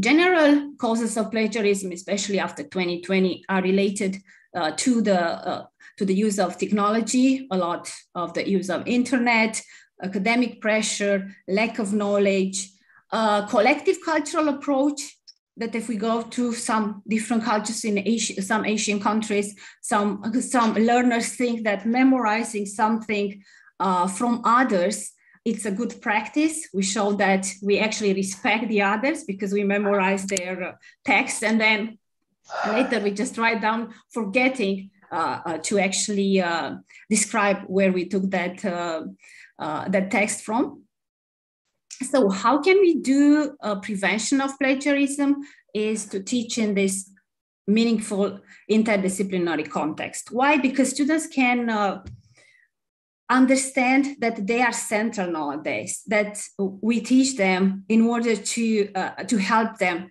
to succeed in the future.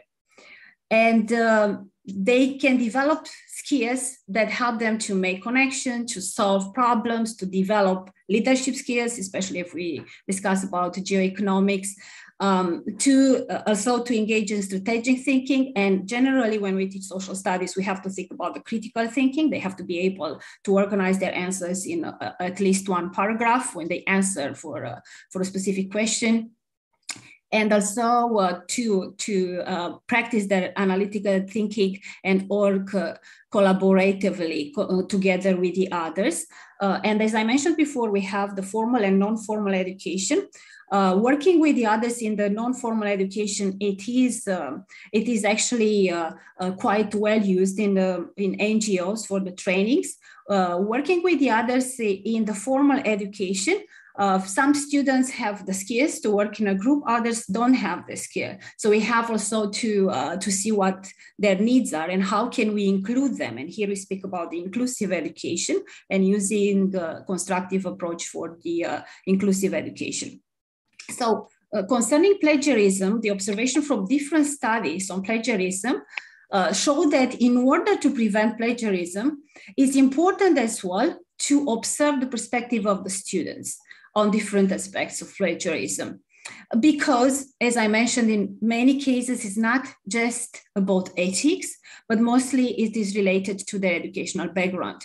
Um, and how we find out that many students, when they are asked to present a description of, uh, uh, of uh, an acceptable paraphrasing, they mainly try to rewrite the original text rather than summarize it with their own words in writing.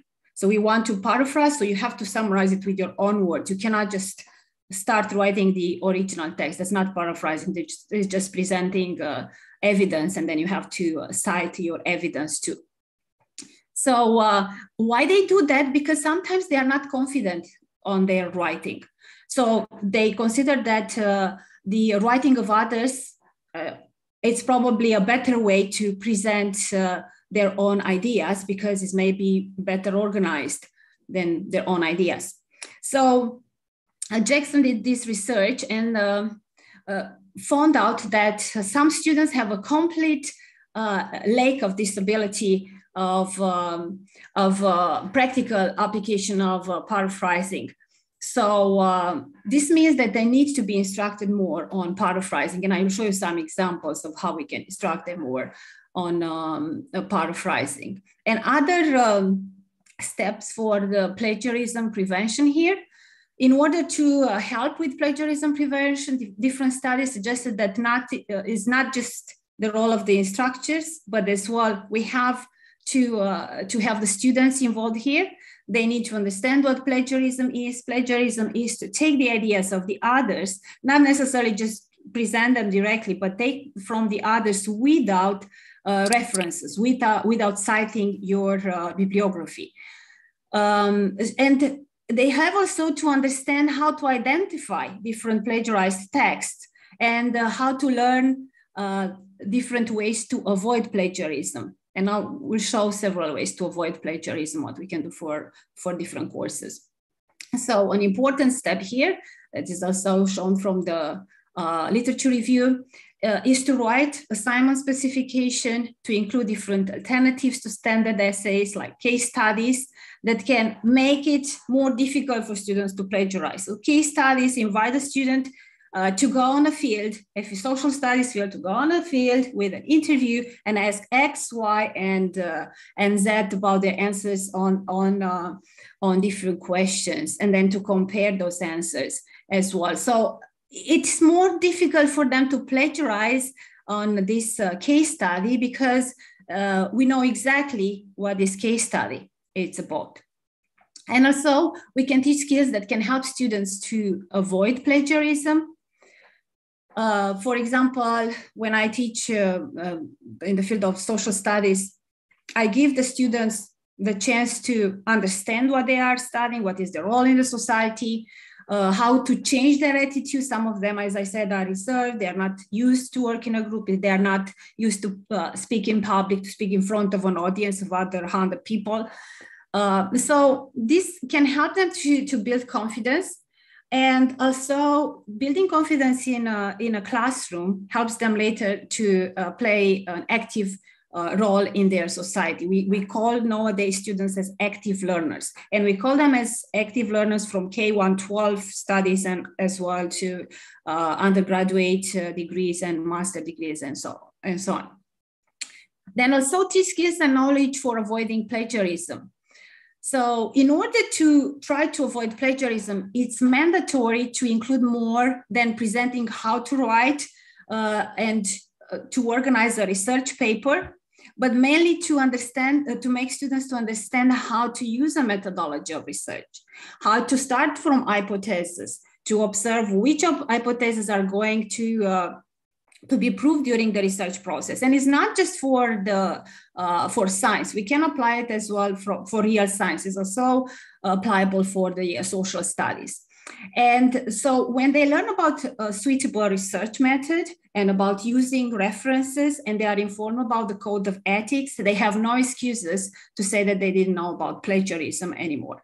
So they can learn how to use the, uh, the research methodology, how to organize a project and and if they don't know how to organize a project, they can apply research methodology with different case studies.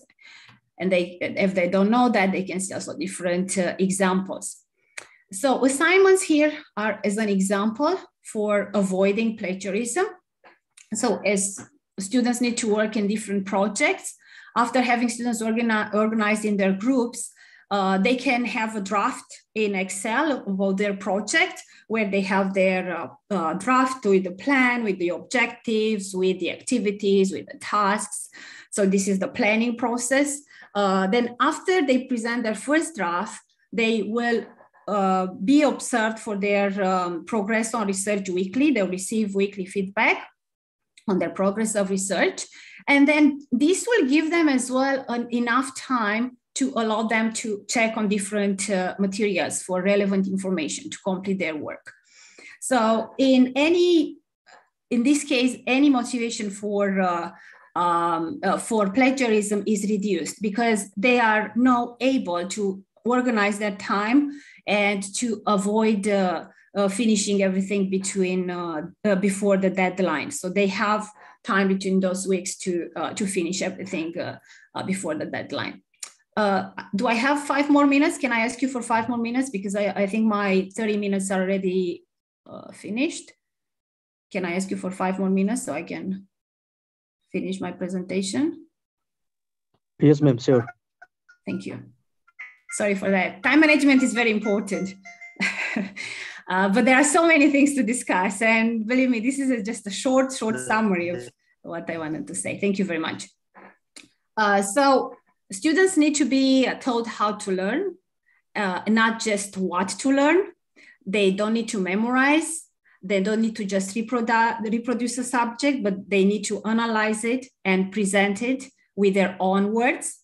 For example, during my, uh, uh, my courses, students are invited to do research, to read more materials in order to better understand uh, what they are learning, and also to develop their critical thinking abilities in, or- in order to improve their skills that are uh, related to the comprehension of the information they receive, um, they learn also how to collect different data, how to organize the data, how to apply the data.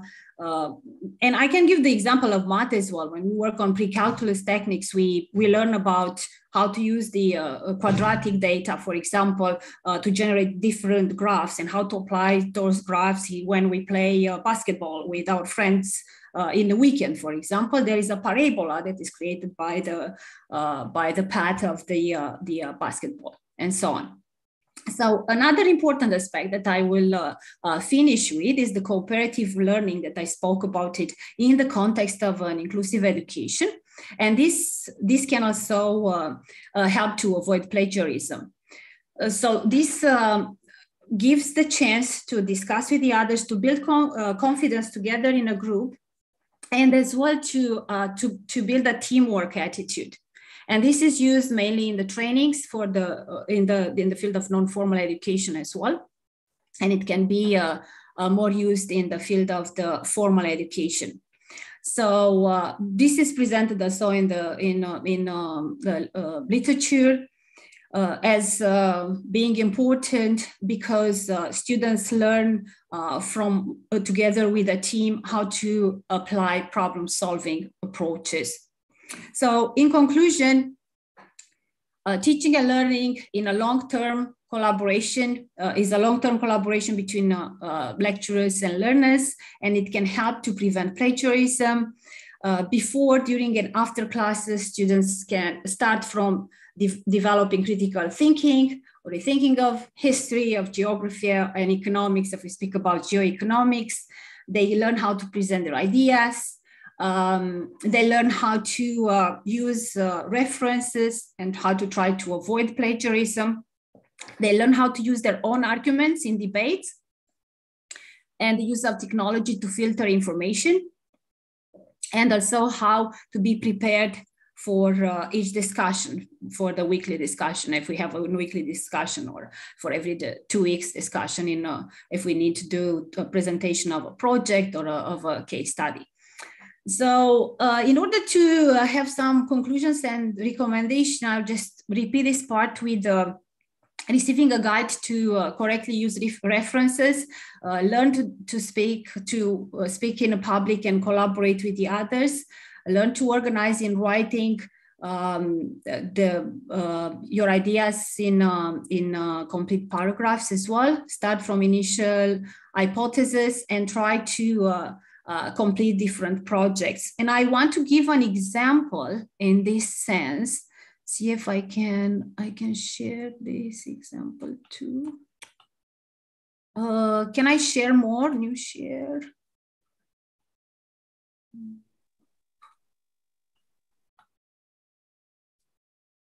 I'll post share. I'll stop share and try to share again an example that I use for an essay chart that students can receive so they know what they have to write about. It's just one minute. I'm sorry, I'm uh, five minutes more.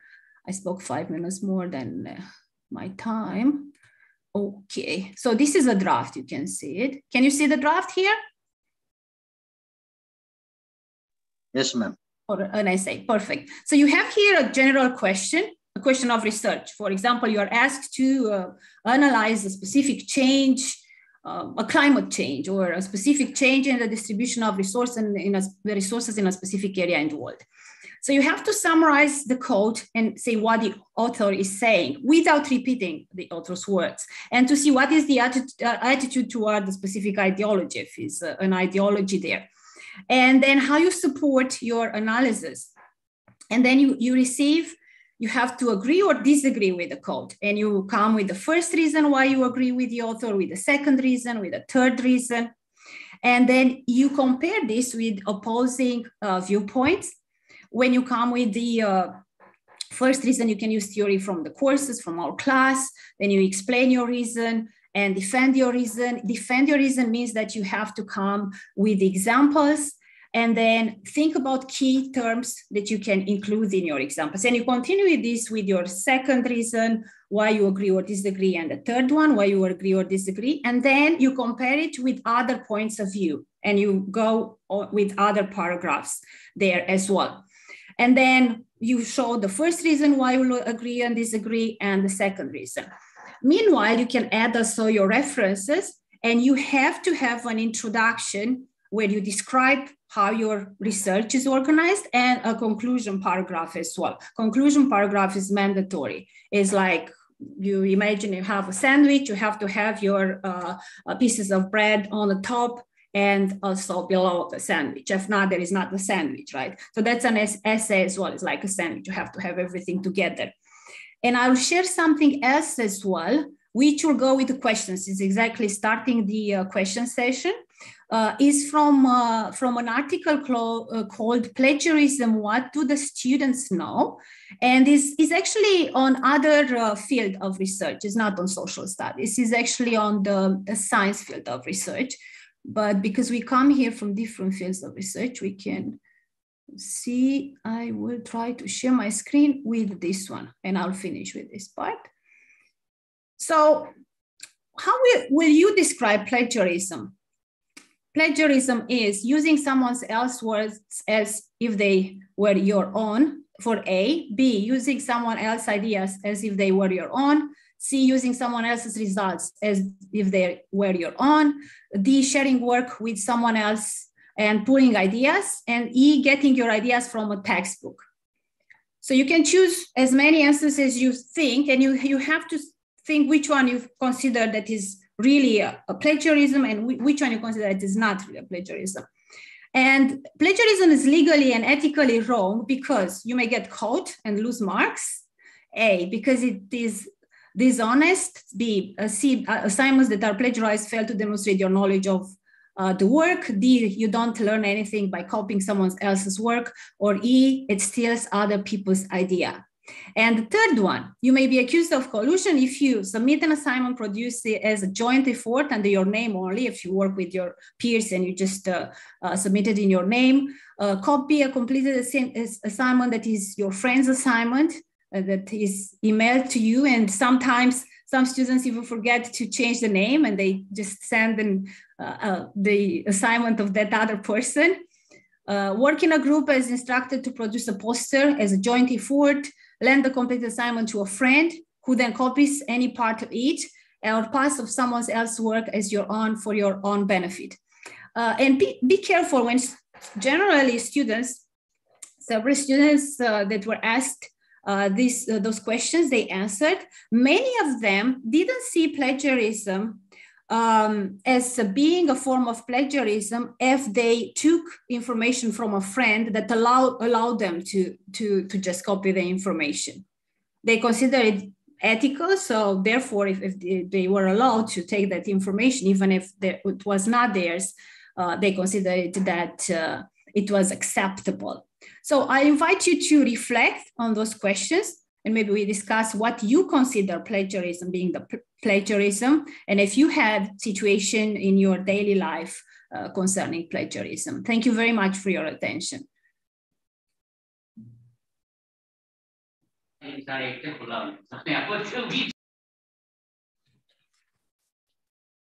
Thank you so much, uh, Dr. Nicolette. The topic plagiarism, which you just talked about, is a very wide topic, ma'am, but uh, you did a wonderful work on summarizing it without missing out on any important points, and that too within such a short time frame. Thank you so much, ma'am, for providing your wonderful insights on various topics ranging from plagiarism to geoeconomics. I'm pretty sure that our audience were able to grasp many information on plagiarism, like the causes, the probable solutions, and the ways to avoid plagiarism. So if there's any question for Dr. Nicolette, please, uh, the audience can ask ma'am directly.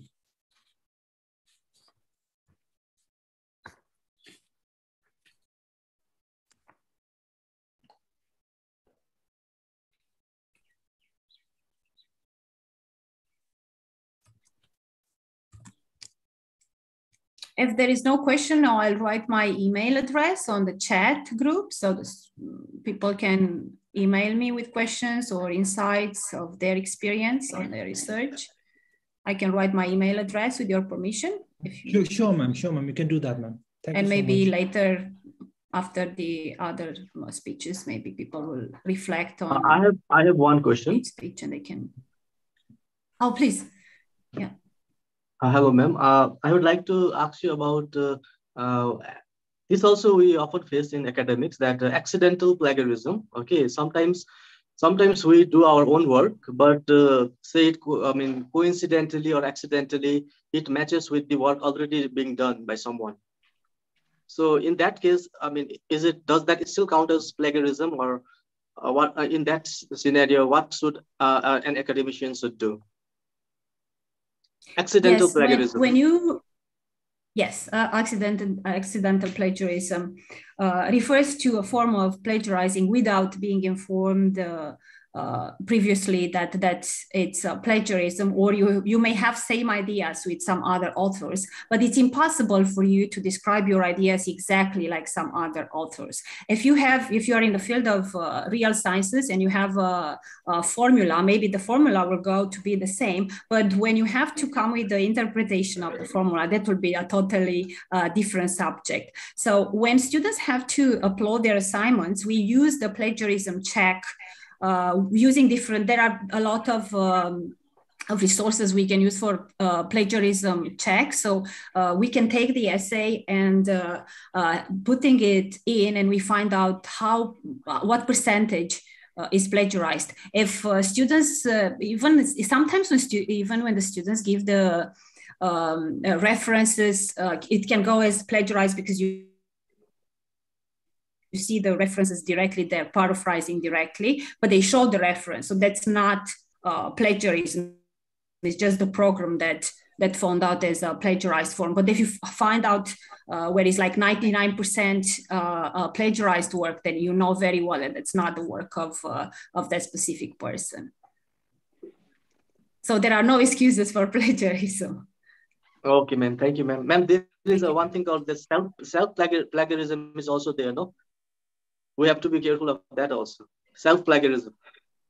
Self plagiarism is also not yes. acceptable. It's not ethical and it is yeah. used by many researchers because they also have this deadline where they have to upload the information and they take different uh, information from one paper to another. And self-plagiarism it is considered also unethical. And it, it's called self self-plagiarism plagiarism. Can take different forms. So play, uh, plagiarizing uh, means uh, mainly when we speak about plagiari- plagiarism we have this ethical perspective when you copy something from someone else, which is totally wrong, means like stealing from someone else or something that it's not yours and using it for your own benefit, for publishing or presenting something without citing the uh, the reference, then that's uh, that's uh, unethical. We, we, we are uh, totally against this. But then is also the fact that some students, like uh, uh, freshman students, um, are, are not actually used with the research and they don't know about the plagiarism and they lack maturity to understand the long-term consequences of plagiarism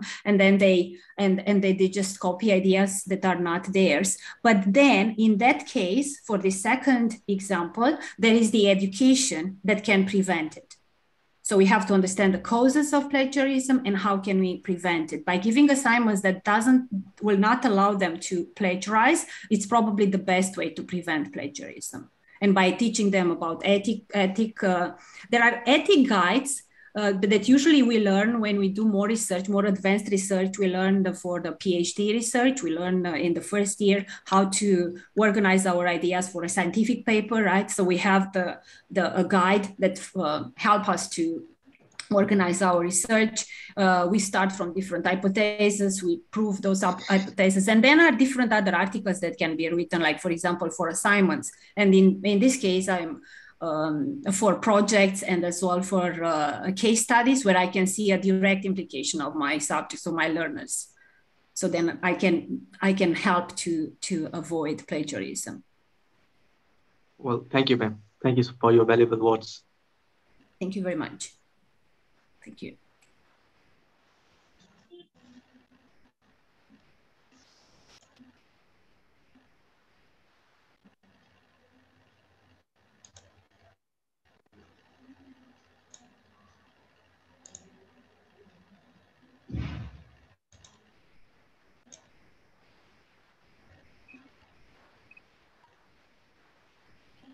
Ma'am, uh, I can see one more question in the chat box, but uh, it's not really clear. Like uh, Ramesh Kumar M is asking, is there any scale of this? So I'm, I guess like he's talking about plagiarism. So is there any scale on plagiarism? Because the question is not really clear, ma'am. So. Yeah, it's probably I, uh, I already answered that on saying that there is totally unethical, so that's unacceptable. And then the second part is with the educational approach that uh, we can use in order to prevent it. Because some people lack maturity on uh, on uh, dealing with different assignments. Yes. and i gave some examples on this sense. If uh, there are other issues mr kumar can uh, can ask us another question. I'll write my email as well. Sure ma'am. Sure ma'am. thank you so much thank you so much not now, I would like to ask uh, uh, our convener, Dr. Eunice Subba, to kindly introduce Dr. Vinay Kumar. So, now over to you, ma'am. Okay. Uh, actually, Dr. Vinay is um, a very good friend of mine. Right, Vinay, sir? uh, actually, we are associated with each other's um, I think from one decade, I guess. We were in yeah, an yeah. orientation program in uh, Himachal Pradesh University, Simla. Yeah, yeah. and uh, Vinay sir, thank you for joining us uh, in the webinar. And we are very much happy that uh, you uh, accept our invitation and you agreed to share your information, your insight in the topic. And let me tell you, um, uh, all the audience, uh, that Dr. Vinay is very friendly, very enthusiastic, and very intellectual personality. Personally, I know him. He's a very, I mean, helpful person um, and you know he has done a lot of work as i have already told you that he has done a lot of work in in his respective field. And uh, we are uh, very much looking forward to hear from you dr vinay. Thank you thank you for joining us.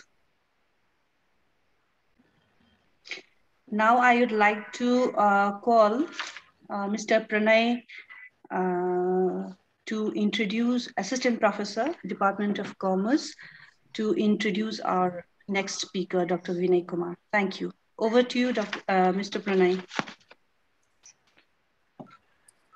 Thank you, Eunice ma'am. Uh, it's, it's an honor for me to uh, introduce our distinguished speaker, Dr. Vinay Kumar sir. Uh, Dr. Vinay Kumar sir holds a PhD in geography from Visva-Bharati University and PhD in education from University of Gour Banga, Malda. Sorry, sorry, sorry. He's sorry. done his. Uh, excuse me, sorry, sorry. I, I think there's a um, confusion. Uh, uh, sorry. Uh, I'd like to um, call upon Mr. Dhanraj Rai to introduce our next speaker, Mr. Uh, Dr. Vinay Kumar. Dhanraj sir, over to you. Um, uh, Ma'am, mine is uh, Dr. Tapas Pal. Hello? Okay. Okay, okay. There is a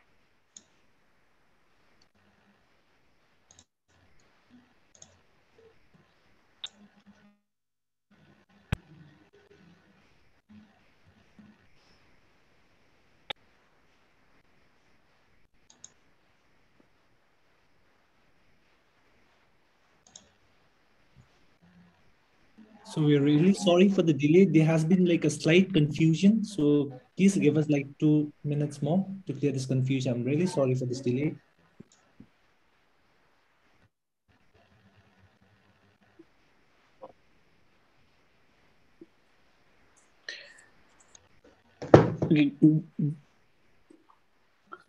Hello, am I audible? Yes, sir, you are audible. Okay, I thank uh, Dr. Eunice ma'am and the organizing team for giving me this opportunity to briefly introduce our esteemed speaker. Vinay Kumar is a, is a distinguished acad- is, is, is a distinguished academic and is presently working as an assistant professor in the Department of Ancient Indian History, Culture and Archaeology Banaras Hindu University, Varanasi. Prior to this, he has worked as assistant professor at Indira Gandhi National Tribal University, Amarkantak in Madhya Pradesh. Dr. Kumar has worked as consultant and assistant archaeologist in ASI. He has also worked as research scholar in Indira Gandhi National Center for the Arts and Indian Archaeological Society, New Delhi. His areas of specialization includes field archaeology, art history, and heritage management. Dr. Kumar is a recipient of gold medal from former Honorable President of India for being an university topper. Dr. Kumar has been awarded junior and senior research fellowship by University Grants Commission. He has also been awarded National Museum of Korea 2014, and 2016 Museum Network Fellowship by Government of South Korea. He has been awarded study and research grant by the Nehru Trust for the Indian collections at the Victoria and Albert Museum to undertake project on ethno-archaeological perspectives of mega, on megaliths of Bastar. He has participated and supervised many archaeological excavations, namely excavations at Lahuradewa in UP, Bhirrana in Haryana, Baror in Rajasthan, Hansi in Haryana, Banpura in Madhya Pradesh, Gambhirwatola in Madhya Pradesh, etc. He has conducted archaeological excavations in the site of Matigaon, Farsand Mohanpur district Chandauli as the director in field season 2019, 2020, 2020, 21, and 21, 22. He has undertaken many research projects and the outcomes have been pre- presented in many national and international workshops, seminars, and conferences. Dr. Kumar has worked with many international and national scholars. He has published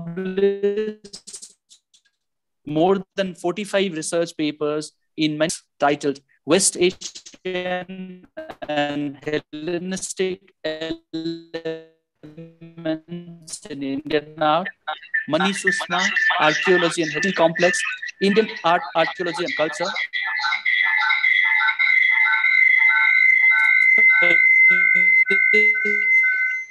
citating uh, legendary archaeologist Professor B.B. Pal and Puratatwa Vaibhav.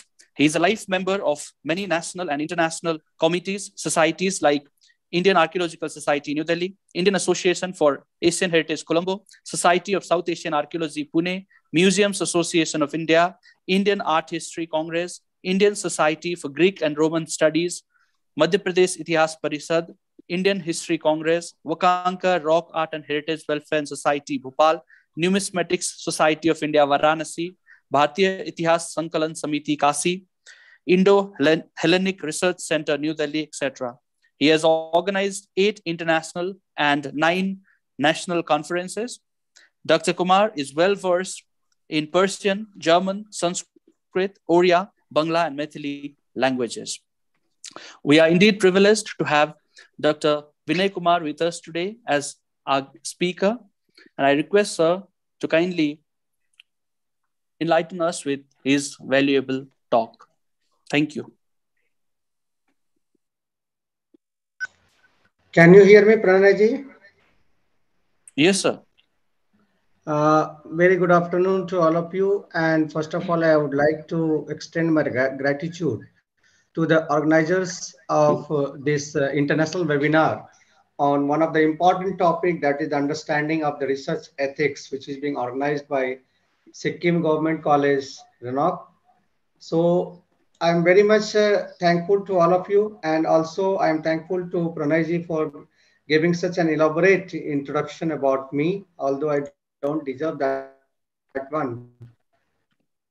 Uh, so today I will be talking about one of the important topic, which uh, just now you have heard about the issues of the plagiarism, how to combat it, and what are the measures to check it. And I will be talking about the predatory publishing. That is the main issue. And all the research scholars or the students or the we teachers, all of us are very, very much concerned about this one. So what are the issues, challenges, as well as the future path for this predatory publishing ethics? Just uh, please let me share my slides.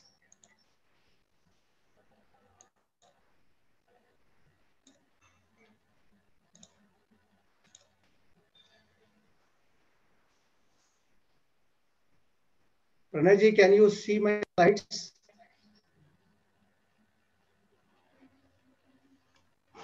Yes, no, sir. sir. Uh, please, no, it, uh, please help me it, out how to it has disappeared again, sir. Yes, sir, it is okay visible, sir. Yes, sir, yes, sir. Okay, so should I uh, go for it? Yes, sir. Can you see the full screen or it is uh, still on this mode? Small thing. Okay, so let me just start. Should I go? Yes, sir. Okay. So before I talk about the predatory journals, we should understand why it is needed. For that, we have to understand what is research. So one of the famous, uh, this personality who was the Nobel laureate also, Albert Sajnett, he is of the view that research is to see what everybody else has seen and to think what nobody else has thought. That is research. So this is the full form of research for each and every alphabet. You can see it here. Research is rational way of thinking, expert and exhaustive treatment, search for the solution, exactness, ample analytical analysis with the adequate data, relationship of the facts, careful recording or the critical observation, as well as the honesty and the hard work. All these features, they combine together to make as research. So now one of the important aspect that is the publishing. So academic publishing has changed nowadays tremendously with the spread of the open access journal that we all of us know and the shift to the online publishing. So all these two issues of the open access journal as well as the online publishing has just change the all of the way. So there are now more journals for the authors to publish their work in than ever before. So this benefit authors by providing more avenues for the publication, but it also puts greater responsibility on them to avoid the serious threats of publishing in a predatory journal. For that, we have to understand what is this predatory journal. This predatory journal or the publishing is a phrase, basically, which was coined by Jeffrey Beall, who was the librarian at the University of Colorado at Denver, that refers to the journals. Now I'm giving you the definition of predatory journals. So it refers to the journals whose main purpose seems to be to exploit scholars as well as the academicians and their need to publish the results of their research. So this is the uh, this uh, predatory journal. So it is just like a, just a large face which gallops everything from the scholar. So this term predatory here to, is to describe the journals that are self-serving and intentionally do not seek to provide the value to the research community or maintain the integrity of the scientific literature.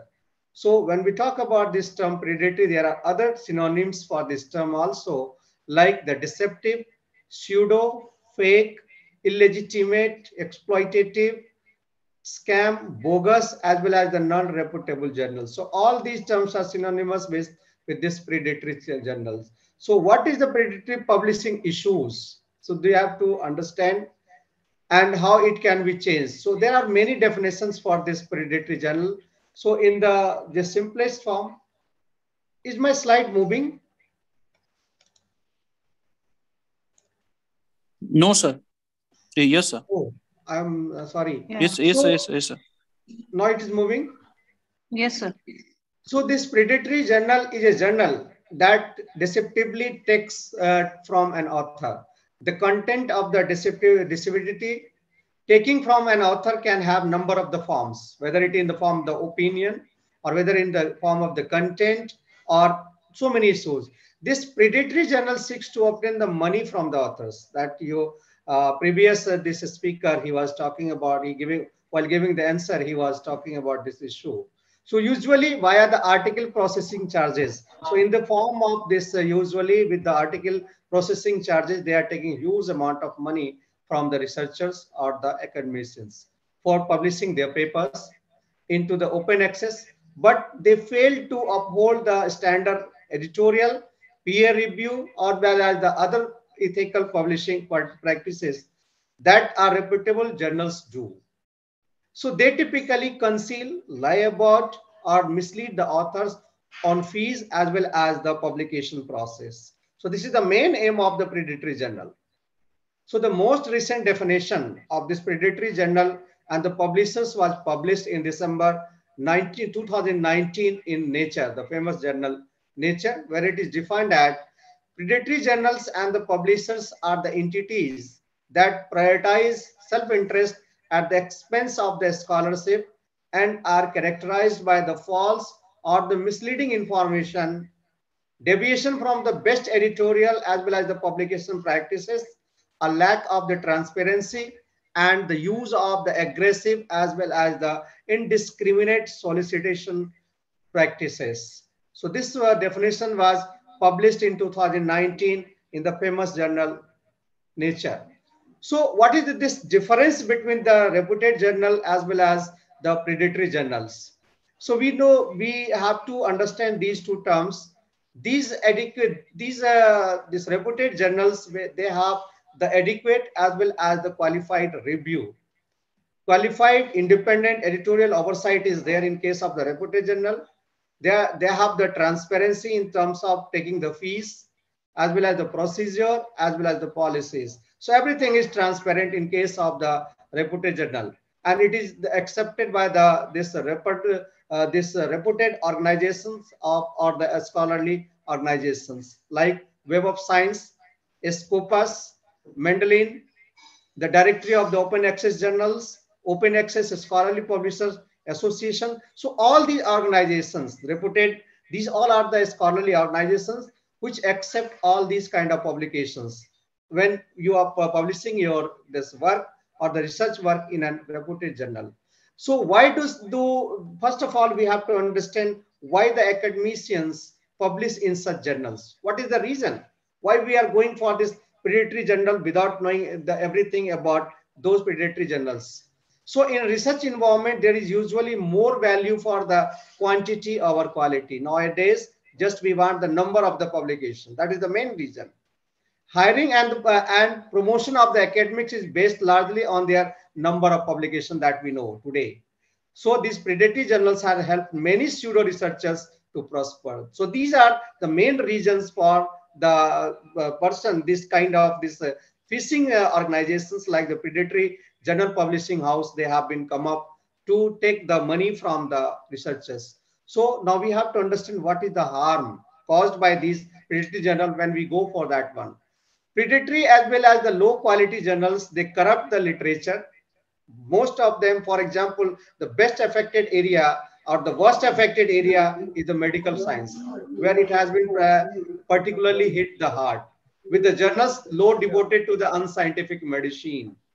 So the peer review is at the heart of the academic evaluation in case of the predatory journal and publishing without the peer review while pretending that peer review has been done. So it gives the poor as well as the mediocre academics a chance for the job and the promotion which should go to better qualified researchers. So these are the harms and it impacts the researcher a lot. So what kind of impacts are there? In longer terms, your reputation is sacrificed for immediate gain or for no any academic gain if you go for the predatory journal. So it is permanent, uh, this, this kind of this spot, this black spot on your career is permanent. Even if your research is sound, it will likely to be discredited by the academic community if published in a predatory journal. If you publish such kind of your work in these predatory journal, your reputation is just tarnished forever. So this is also the waste of your the research funding when you are publishing through any or through a, as an outcome of your any project or the research work. So it will be held and for that you will be held accountable by for your funding agency. So this is another harm. So and so when uh, we talk in a gist or in a summary way, what are the this this uh, uh, bad effect of this uh, harm caused by this predatory journal? So it is damaging the external reputation, inexperience, and the lack of knowledge.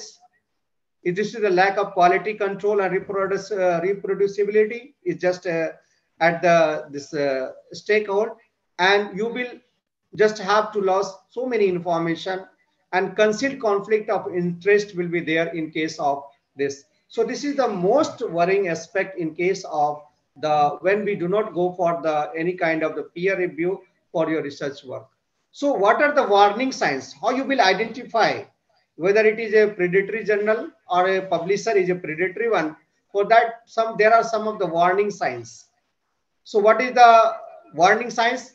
You have to find out whether this is included under the predatory reports by the Cabells International.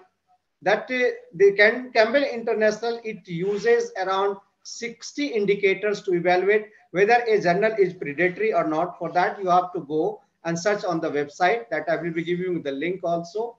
So you have to find out is it this particular journal is indexed in large trusted database of the scholarly world uh, or not. You have to find it out. And it whether it has uh, you will find that it has many mistakes in English basically in the grammatical grammatical portion. And you will find the false information about these predatory journals on the website also.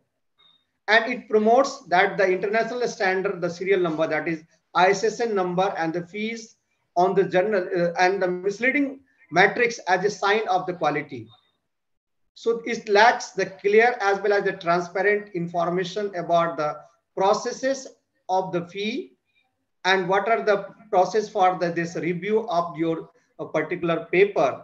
So all these things will be lacking in case of predatory uh, journals. It has an anonymous editorial board. You will not able to find out the who are, are the person concerned with the editorial board. So that information is also not properly given to the this uh, contributors. And it has a journal name, URL, as well as the branding that is very similar to a reputed journal. So you see here, they will be using the same kind of name. When it is nature, they, they will just uh, change some letters or something like that. And you will find that this is uh, just like a nature. And provides insufficient information or the hides information about the authors also. This kind of predatory journals. And the name of the journal does not adequately reflect its origin from where it has been originated. For example, a journal with the word Canadian or the Swiss in its name when neither the publisher, editor, nor any proprietor institutional or affiliate releases whatsoever belongs to the Canada or the Switzerland. So these kind of misleading information will be there by these predatory journals. So for before publishing any kind of your Uh, research work, you have to think, you have to check, then you have to submit your paper for the publication. So before when you are going to, if you have prepared your research paper, First of all, you ask yourself, is your supervisor or your guide is familiar with this journal? You have to just find out this answer. Is it indexed by the Scopus or the Web of Science? Or is the journal or the publisher named on the predatory publisher list? And this is the, the link to find out the list of all the predatory publishers. That is, you can see it here, that link one. So there are some of the checklists to find out or the identify the fake journals or the bogus journal. So do you or any of your colleague know this journal? You have to find out.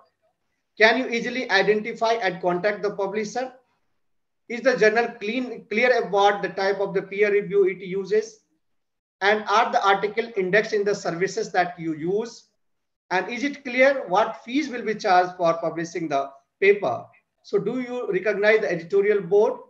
Is the publisher a member of the recognized industry initiative that is COPE, DOAJ, OASPA, Open Access General uh, Database? So how to spot this spot all these predators? How you will catch them up? So they will send you the spam, this mail to the students as well as the academicians. And the editorial board, either the non, uh, you will find that they are either non-existent or the same person name is as the editor of the multiple journals you will find. And name of the journal does not reflect its origin. And name of the journal is very broad to attract more content from the these contributors. And you will find the grammatical errors on the website always in case of predatory journal so what are the basically the practices of these practice these predatory journals these uh, predatory journal, they publishes the pseudoscience articles basically, and they launches with fleet of the empty journals. No value added services such as the references, linkage has been provided in case of this predatory journals or the fake journals or the bogus journals. They are not indexed by the genuine index such as Scopus or Web of Science, which I told you. And they have the misleading information about having an impact factor. So which is an important factor to know about our publication. So they will, uh, so you can see here, this is an example of this, uh, this mail, scam email where you will find how it has sent the email and he has sent about that our journal is just uh, published or it has this so much impact factor, it has this DOI number, it is uh, published in the Scopus. these kind of information will be sent as an spam mail or the bogus email to you. So now the most important person, this uh, thing of my talk is to how to measure to combat what are the measures to combat the predatory journals. For this, we have to understand the Cabell list. So in 2008, the Jeffrey Beall, a librarian at the University of Colorado, which I told you, he used this term uh, predatory for the first time. And he used, he uh, started a Beall's list, which is a list of the basically a documentation of the open access publishers who did not conduct legitimate peer review as well as the published virtually and submitted article in exchange for a fee. So he was the first person who just first of all pointed out all these issues of the predatory journal. So in uh, May 2017, a meeting of the Society for the Scholarly Publishing, that is the Cabells International, a company that offers the scholarly publishing analytics as well as the other scholarly services, announced that it is intended to launch a blacklist of the predatory journals and it was published, it was uh, tried to be published in June. And this company had started work on the blacklisting criteria also for these predatory journals in basically in 2016 only. So in July 2017, both a blacklist as well as a whitelist were offered for the subscription on their website by this Cabells International. So that is one of the most criteria to find out about all these predatory journals, which you will easily find on the website. So there are other efforts also by the government agencies as well as the individuals levels also, which I told you. So here some of the measures to combat all these predatory journals are there. So more transparent peer review, such as the open peer review as well as the post publication peer, peer review has been advocated to combat these predatory journals. So these two uh, criteria or these two methods should be followed to find out the predatory journals. So in an effort to set apart the legitimate journals as well as the publishers from the non-legitimate ones, the principles of the transparency and the best practices have been identified and issued collectively by the Committee on the Publication Ethics, that is DOAJ, as well as the World Association of medical editors in case of the medical journals. The open access uh, scholarly publishers journals review websites that is the crowdsourced or the expert run websites have been started and some focusing on the quality of the peer review process as well as the extending to the non-open access publications has been started and a group of the libraries as well as the publishers they have launched an awareness campaign also to find out all these predatory journals. Other efforts are also there for combating these kind of issues of the predatory journals. So a number of measures have been suggested to further combat the predatory journals and they have been uh, called as the research institutions to improve the publication literary, notably among their junior researcher in developing the countries like India as well as other countries. Some organizations have also developed criteria in which the Predatory publishers could be spotted through providing tips that include avoiding false fast publications. And in when we uh, think about our own country, India, here the Ministry of Human Resource Development has just started a campaign and started an initiative to remove all the bogus journals. And for that, a requirement that scholars get at least two research papers published in a University Grant uh, Commission approved journal, that is the UGC CARE listed journal, before submitting their doctoral thesis. This is one of the criteria in the university that we all of us know. And it is coupled with the pressure on the university teachers to get their research published regularly in the academic periodicals. And because of this, has it has produced an unexpected side effect that is the growth of these kind of predatory journal in case of India. So you can see here, there was a uh, meeting here to remove all these uh, kind of this predatory journal here for this study entitled A Critical Analysis of the UGC Approved List of the Journals, a team of the six researchers in association with the Human Resource Development Ministry analyzed around 1,336 academic periodicals randomly selected from a list of 5,699 journals in the so-called university source component. And their calculation was that, that over 88% of the non-indexed journal in the university source component of the UGC approved list could be of low quality. While the UGC website lists around 32,659 journals, university source journals 5,699 are those which are recommended by the various universities in the country, the paper notes. And the UGC has admitted that it received several complaints about the inclusion of the low quality journals soon after the release of the approved list of journal on June 2, 2017 that we know UGC care list that was published by this University Grant Commission. And this UGC has removed a few journals after an evaluation and the that was just uh, find out through that uh, uh, research work. And that was the outcome that the over 88% of the journals are substandards and it is the own study by the UGC.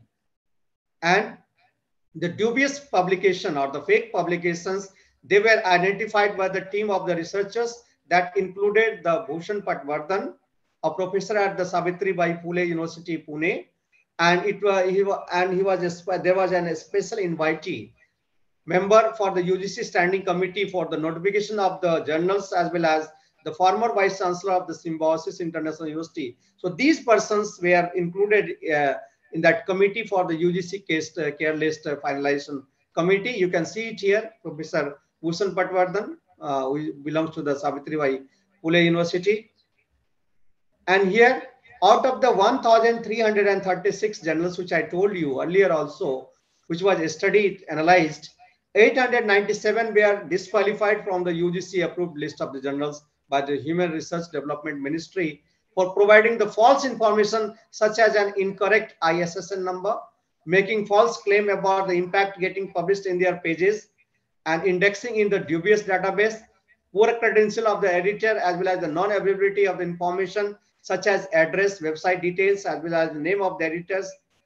Papers published in the dis disqualified journals will not be considered valid. So this was the decision taken by the UGC grant that committee of the UGC grant commission or that the UGC approved list journals which you uh, which all of us are now following. So you can see here. So these all are the uh, notifications by the UGC. So it is an alarming situation that such a huge percentage, 88% you saw, of the journals are bogus in case of India only. And globally, it hampers the image of our own country. This was the statement given by the chairman of that committee, Patwardhanji. And the HRD ministry has adopted a very positive approach after that meeting or after that uh, this report for dealing with the issue and has decided to remove all the bogus journals from the UGC list shortly that Patwardhan uh, just uh, informed to the committee. And so this was that one. And coming to the conclusion, I would like to show that so we have to be very careful about this hijacking uh, journal uh, publication policy. And Butler in 2013, he reported in again in the Journal of Nature that the two print only journals that do not offer the electronic version were hijacked by the cyber criminals. And the hijackers set up the false website and they took money from the authors who were attempting to publish their original research work in one of the journal indexed by the Science citation indexed and the Thomson Reuters matrix product that complies impact factor for the cover journal. So hijackers, they make money because of these predatory journals by stealing the identities of the legitimate journal and collect the data or the article processing charge on the papers that they are submitted. And the cyber criminals have cheated thousands of the professions, professionals as well as the PhD scholars mostly from our own country, developing countries, and those who were in the urgent need of the publishing their article in the journals, they were the most affected persons. And usually the target group of the cyber criminals are the journals with not so high impact factor value because it would be difficult for the hijackers to convince the authors that a high impact factor journal invited to the them to publish their research work with a peer review process done within just a couple of weeks. So these all are the conclusions. So we have to be very careful while publishing our paper when we are publishing in any reputed journal. First of all, we have to check all the criteria which I have given to you people. Thank you very much for your kind uh, attention. If you have any query, you can just ask me.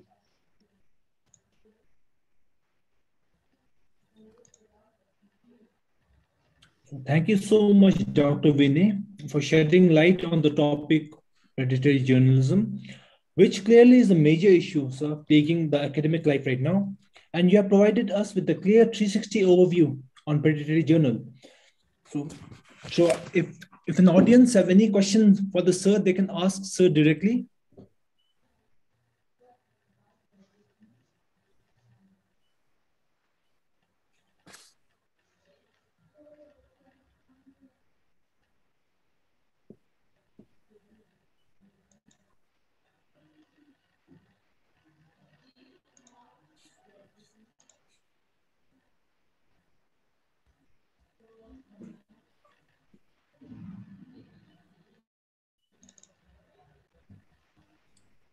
Uh, sir, uh, can you please provide uh, the audience with the email ID in the chat box? They might uh, ask you a question out there.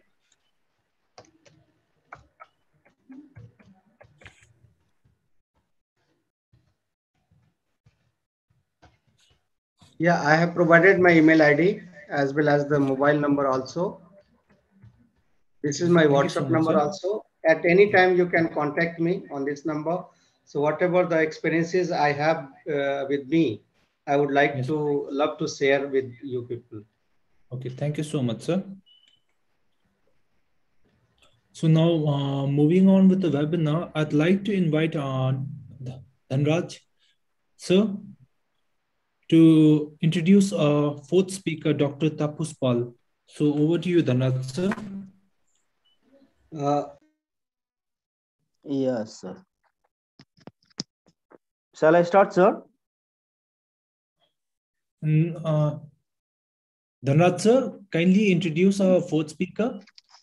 Okay, sir. Uh, am I audible now? Yes, sir. Yes, sir. Sir. Okay. Okay. Uh, first of all, uh, uh, I'd like to thank uh, uh, Karma sir for giving me uh, this opportunity to introduce our esteemed speaker and the organizing committee. So here I am to uh, welcome and introduce our esteemed speaker uh, for this uh, session of international webinar, Dr. Tapas Pal, and he will be talking about plagiarism de- detection system, penalties and consequences. Dr. Tapas Pal is presently working as an assistant professor of the Department of Geography, Raiganj University. Uh, and he is also in charge of Center for Differently Abled Person, Raiganj University, India. He is also international collaborator of uh, GEITEC, Federal University of Rondônia, Brazil. He has uh, numerous working experience experiences, uh, like uh, he has six years of teaching experience and is continuing in the Department of Geography, uh, Raiganj University, India. He has done a number of uh, research projects, such as two projects of ICSSR, IMPRESS, Government of India, and one project of Department of Science and Technology of Biotech Government of West Bengal. Uh, he went through a number of orientation program. Uh, recently, he attended uh, orientation program in University of uh, Jammu, Jammu and Kashmir from 29 June 2018 to 26 January, uh, sorry, July 2018. And he has attended UGC short-term seven days workshop on MOOCs in Visva-Bharati Santiniketan from 5th to 11th February 2019 uh, in A. A.K. Das Gupta Center for Planning and Development. Uh, center is sponsored by the NITI Aayog, Government of India. He has attended refresher course in Jawaharlal Nehru University, New Delhi from 16th September to 20th uh, September 2019.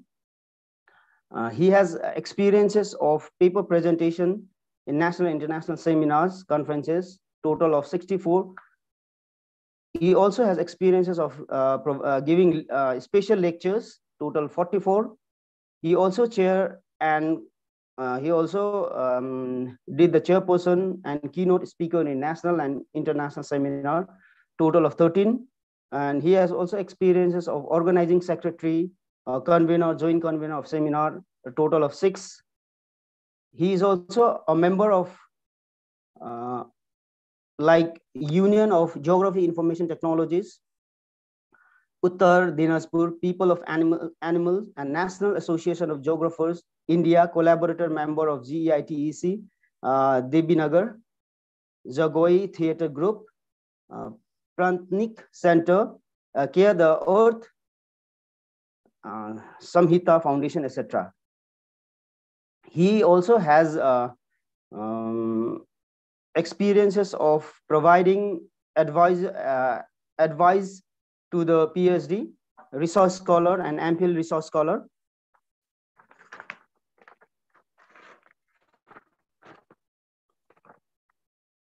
He also has a number of other experiences like providing uh, lectures, training at, at, international college, university and organization.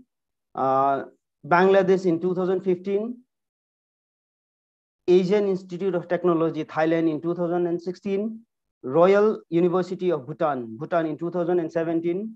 In 2017, again, uh, University at Albany, New York, USA. In 2018, UN Sustainable Tourism Based Training Workshop in Jeju Island, Republic of Korea. UNSD Training and Surabaya, Indonesia in 2018. Chowdagram Government College, Bangladesh in 2019. In 2019, again, uh, he gave lectures on municipality planner of Chowdagram, Bangladesh. In 2019, Amazon Port, Velo, Rio de Janeiro, Federal University of Rondônia, Rural Federal University of Rio de Janeiro, FIMCA Institute, Brazil. His uh, academic and degrees are as, are, uh, as follows. He did his PhD in Education, University of Banga, India, on the topic Environmental Films and Education for Sustainable Development uh, Contemplation. He did his postdoc in Geography uh, from Northeastern Hill University, a central university, Shillong, India. And the topic, Dukpa tribe in Duksa and Sikkim, socio-cultural terrain, settlement structure, and ecological sustainability. Uh, he did his uh, BA and MA in geography and BEd from Visva-Bharati, a central university, Santiniketan in India. Uh, he again uh, did his MA gender studies from Indira Gandhi National Open University, a central university. MA in tribal development, TGOU, postgraduate diploma in remote sensing and GIS, Jadavpur University, India. He completed his postgraduate diploma in disaster management, Indira Gandhi National Open University, a central university. Again, he completed his postgraduate uh, diploma in intellectual property rights, Indira Gandhi National Open University, a central university. Uh, postgraduate diploma in folklore and cultural studies in uh, Indira Gandhi National Open University, a central university. His uh, significant professional awards are uh, uh, both national, international, and fellowship. Like he has, sorry, he had ICSSR postdoctoral fellowship uh, for postdoc in Northeastern Hill University, India. He has uh, UGC NET JRF and SRF fellowship, Government of India, Visva-Bharati in India. He has a workshop on environment tourism at Republic of Korea, workshop on sustainable tourism on 2018 at Indonesia, uh, founded by Research Institute of CIFAL, UNITER, and the government of East Java. He, he visited Western Amazon Rainforest University of Rondônia FIMCA and Federal Rural University of Rio, Rio de Janeiro, founded by FIMCA and University of Rondônia. He has uh, Samaj Bandhu Award 2020 for Prantik Care, the Earth GIS Mapping Training Institution Institute, Santiniketan, and Emergent Technologies, Itanagar, Arunachal Pradesh. Best, sorry, Bharat Excellence Award 2020 and India Indian Leading Educational Award by Friendship Forum of India, New Delhi. He also has I2OR Distinguished Research Award 2018 from India, Australia International Institute of Organized Research, International Best Researcher Award 2018 for the International American Council for Research and Development Awards 2018, IARDO Awards for Young Scientists 2018, provided by Gurukul Institute of Engineering and Technologies, Kota, Rajasthan. Affiliated to RTU and AMP, approved by the All India Council of Technical Education, New Delhi, International Association of Research and Development Organization, under the banner of Indian India Educational Charitable Trust, Ghaziabad, India. He also has Award for Excellence in Research 2018 in third South Asian Education Award 18 Hyderabad by Education Expo TV. He also has National Teachers Excellence 2017 by International Benevolent Research Foundation, Kolkata. Uh, he also has a Poribes Bondhu Samuna from Boragari Junior High School, Barsik Foundation Day Organizing Committee and Monobio Seva Manch NGO, Kuch Bihar. National Award for Research on Folk Geography 2017 from Organizing Committee of National Seminar of Folk Geography, Chorivia, West India. He also has Sundarlal Bihu Gana Nature Conservation Award 2006 by Jabalpur Management and uh, Association, South Asia Management Association, Venue AIT, Thailand. He also has Kabi and Anil Sarkar International Award 2015 from Kabi Anil Sarkar Literature and Educational Study Center, uh, Comilla, Bangladesh.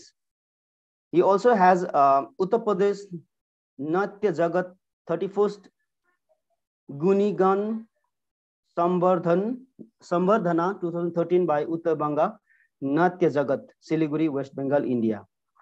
He also has other uh, significant uh, work experience in the field of climate security works.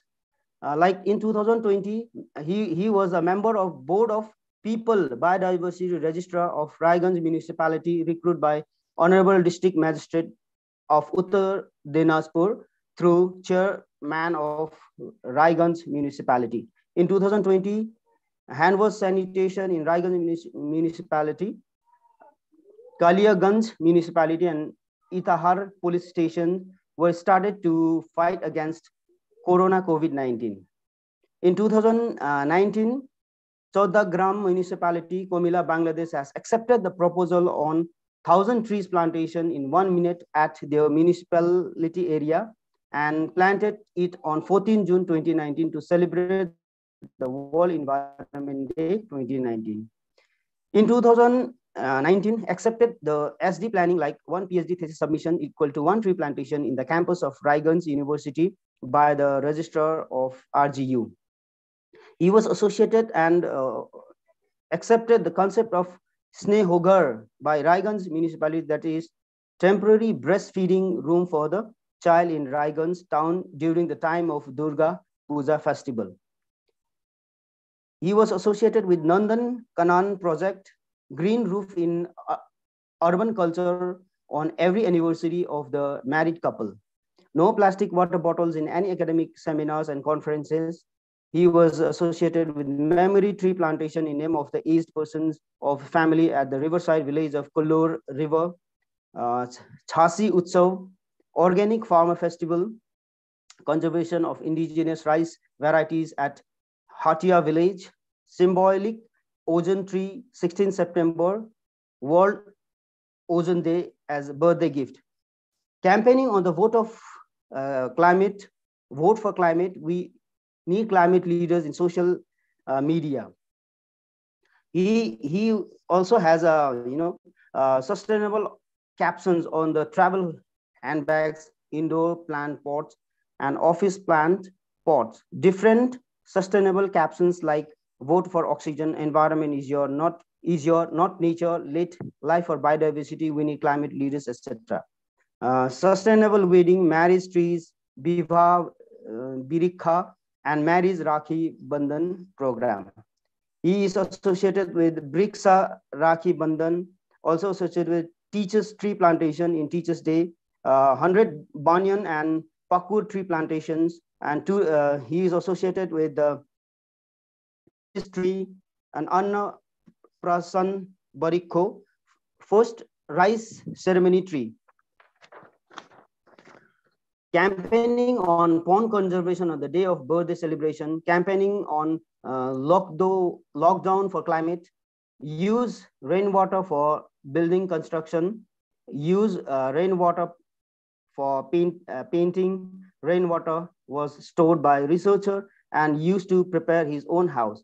Stop abusing drinking water from roadside tabs under the caption, uh, my town, my responsibility. Author is research scholars. Teams are always aware to stop abuse of water from any roadside taps.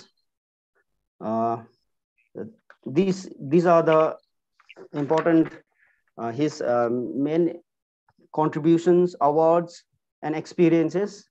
So this is uh, quite a gigantic task. Uh, thank you uh, so much once again. So now uh, I'd like to invite uh, Dr. Tapas Pal for the session. Sir, you can continue. Thank you so much, sir. Okay. Am I audible, uh, audience? Yes, sir. Yes, yes. Okay. Yes, sir. Uh, I think uh, the whole biodata should be uh, concluded in a, very few minutes. It is very required for us because CV important to us. The key work and the key thinking is important to us to save our society, civilization, and mother earth.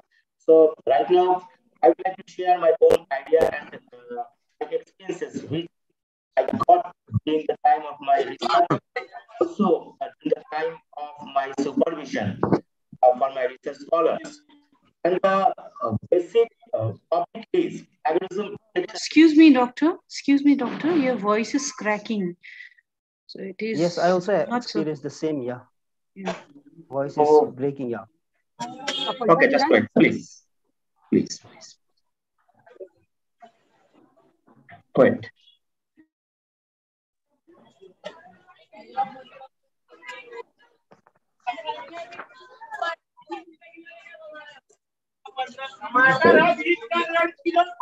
Hello. Hello. Now it is clear, sir. Am I audible?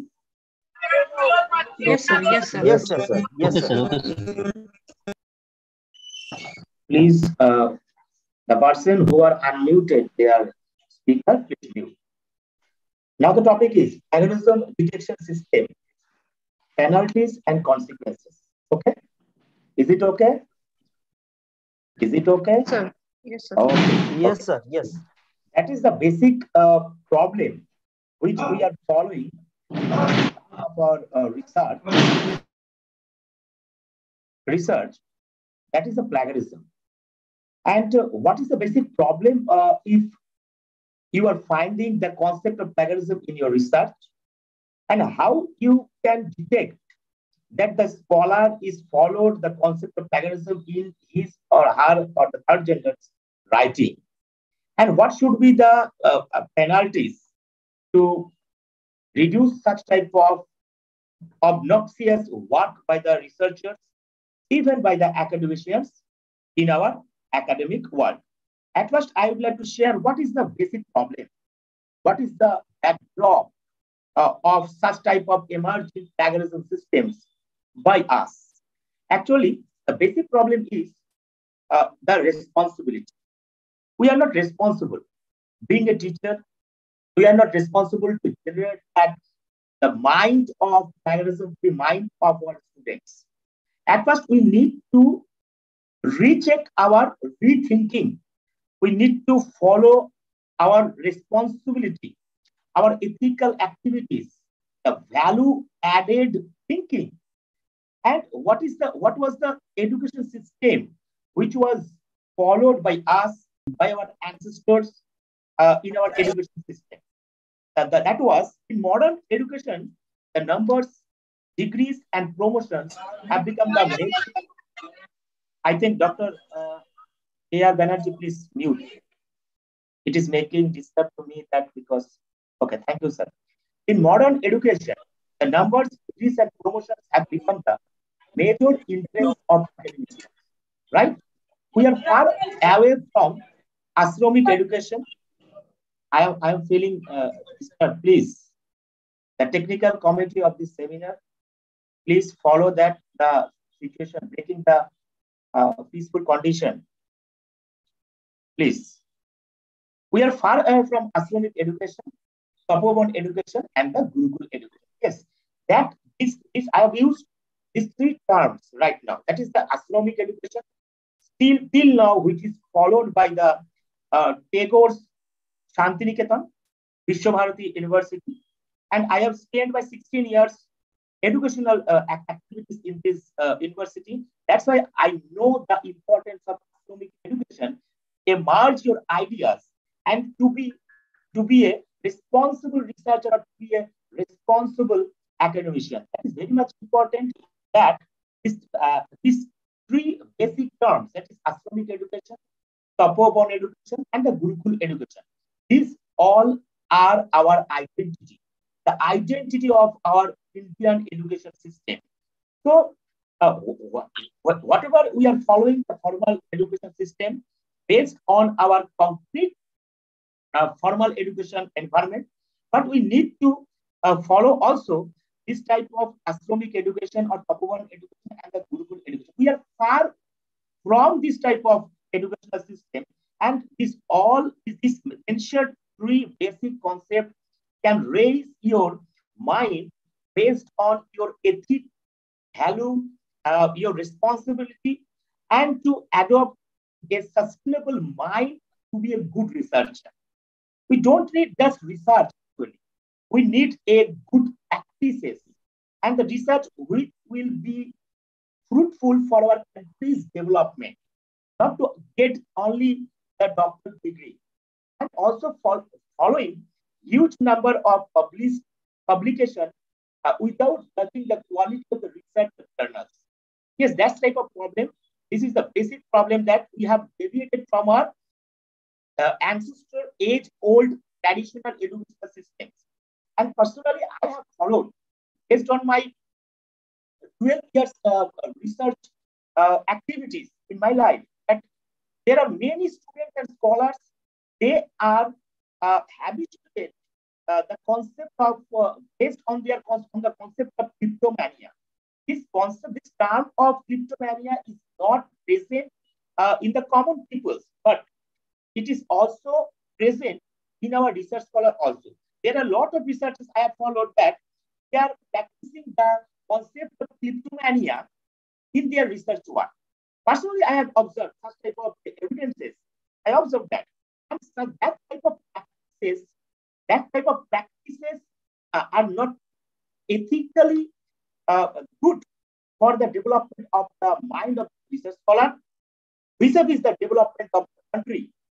So at first, we need to reduce, curtail the concept of kleptomania from our mind, from the mind of our uh, uh, research scholar. Here, the concept of psychology is important. Human psychology. This, this type of practicing is connected with the concept of human psychology. What is psychology? Psychology is equal to your mind plus your behavior. How you can uh, uh behave your behavior is expressed by the, by the thinking of your mind. So your sustainable mind is important, your sustainable behavior is important, then you can be the combination of sustainable psychology. And this concept is applicable for our research scholar and for our academician both. Now, the Institutional Committee for Ethical Review of Projects, CIREP, which has uh, uh, already generated, which has which had already generated on December 2014. And it was generated by the university it is also called, uh, called university. That is University Pom Pompeu Fabra of Barcelona. We have already started Research Ethics Day. Just to imagine that we are passing, we are uh, uh, celebrating Research Ethics Day. Why we are celebrating such a, a, a day of celebration? That means we, we that such type of day of celebration is demanding by our contemporary education. That means we are not following the value in our research, we are not following the ethics in our research activities, we are not following the sustainable philosophy in our research writings, we are not following the concept of truth in our research writing, we are not conducting the proper research work, both by the research scholar, both by the supervisor also. Sometimes I may follow that. Research scholar just want to get degree. Sometimes I have already followed that. The supervisor wants to uh, complete the work uh, to, to, to present that there are lot of researchers have completed his work under his or her supervision. And that is also connected with our CAS, CAS, CAS, area advanced uh, of, of, our of our increment. So the, the concept of kleptomania is followed both by the scholar and supervisor in some cases. And another thinking which I, I, I have mentioned here that is researching well. That is the caption. That is the researching well. Scotland's third sector research forum of Scotland, which has already started this type of caption in the research work in their educational atmosphere, that we need to follow the researching well, quote unquote. So this type of relevance, this type of emerging captions are, are emerging, are saying to us that we need to follow the proper research. We need to follow the well research. We need to follow the well-being and research. I will mention there are a lot of uh, emerging uh, emerging problems and issues and how the people, how the scholars are following the noxious and the uh, path during the time of their research writing. I will mention there are a lot of lot of uh, websites are present. There are a lot of software uh, softwares are present in our research arena that uh, that is making that is making a, a, problem for us to detect the plagiarism. Because uh, another issue that what is the issue? The educational system of the contemporary world is demanding more quantity rather than quality in most cases, right? Central and state governments have declared the cash area advanced scheme, UGC regulation, dated 36 2010, for the promotion of college and university teachers. That is the basic incentive, not to follow the direct, not to follow follow the ethical path of the their research work. And here, the basic is promotion. All we need promotion. All we need the money. All we need the degrees we are not following the proper ethical path to earn that promotion. Here are the that's the type of problems. Everybody knows it, but uh, in most cases, they are uh, avoiding such type of problems issues. Thus, academicians have become busy fulfill, fulfilling the criteria. It's observed that some teachers are not interested to put it year-wise regularly. Rather, the hand-to-mouth time, they start to fulfill their criteria. And another thing I have realized that is the uh, sir. Please. Sorry to interrupt you, sir. Your uh, voice is not uh, clearly coming. Okay. It's it's it's uh, you know breaking every now and then. So kindly, sir, please look into it. Wait.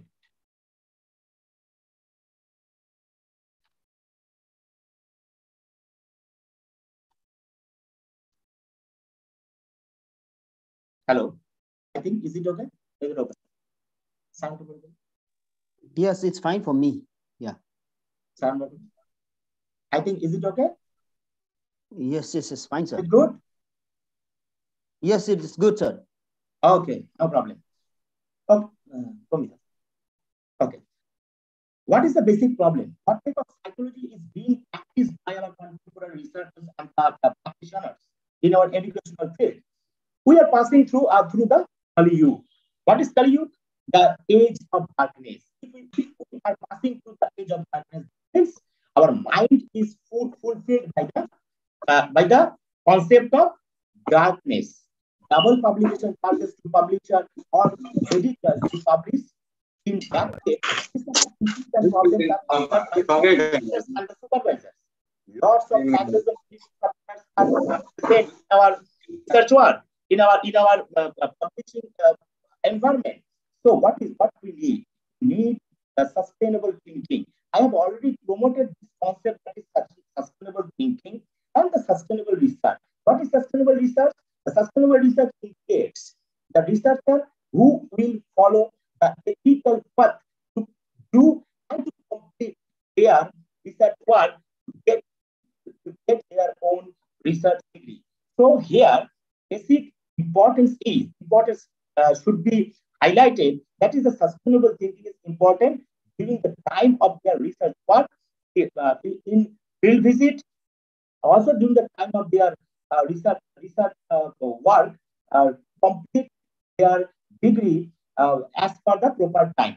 Here I have mentioned another photo, you can follow it, that is the red color circle, large red color circle, and a small red color circle. What is the what is the basic differences here? That is that is shown here. I have followed one thing that is people are looking more to wealth rather than the resource. Here, the large, large uh, colored uh, circle indicate that is the resource. Okay, and and the small color uh, circle indicates is the portion of the wealth.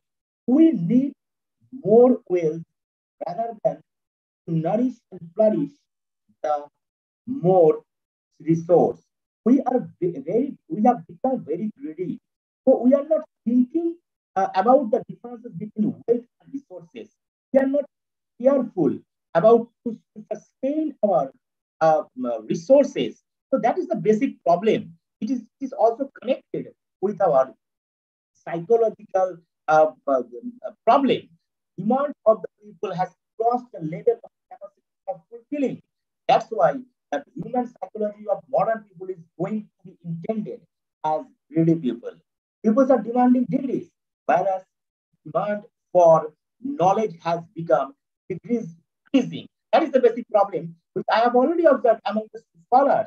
They just want uh, to be a doctor, but they have no capacity and ability to, to, to become a doctor. That is not their problem. It is also the problem of our academicians, of our of the supervisors, because we are giving the uh, arena to pass this type of, to analyze this type of, to cross over this type of scholars uh, to do the research. That means we are also responsible. The researchers are also responsible. This is the supervisor and the authority, both are the responsible because we are giving the space to pass such type of uh, British scholars. Nowadays, the concept of greediness has penetrated the educational sector. All we know that. So greediness has become adopted in every section of our life. And the habit of kleptomania is practiced by the researchers. Most of the researchers are following and method. And to, to restrict such type of cut and paste method, we have started to uh, apply the Cocoon or Ouriginal uh, or some plagiarism taking software. Researchers are more favored. I will mention how they are uh, trying to remove such type of plagiarism in their research activities.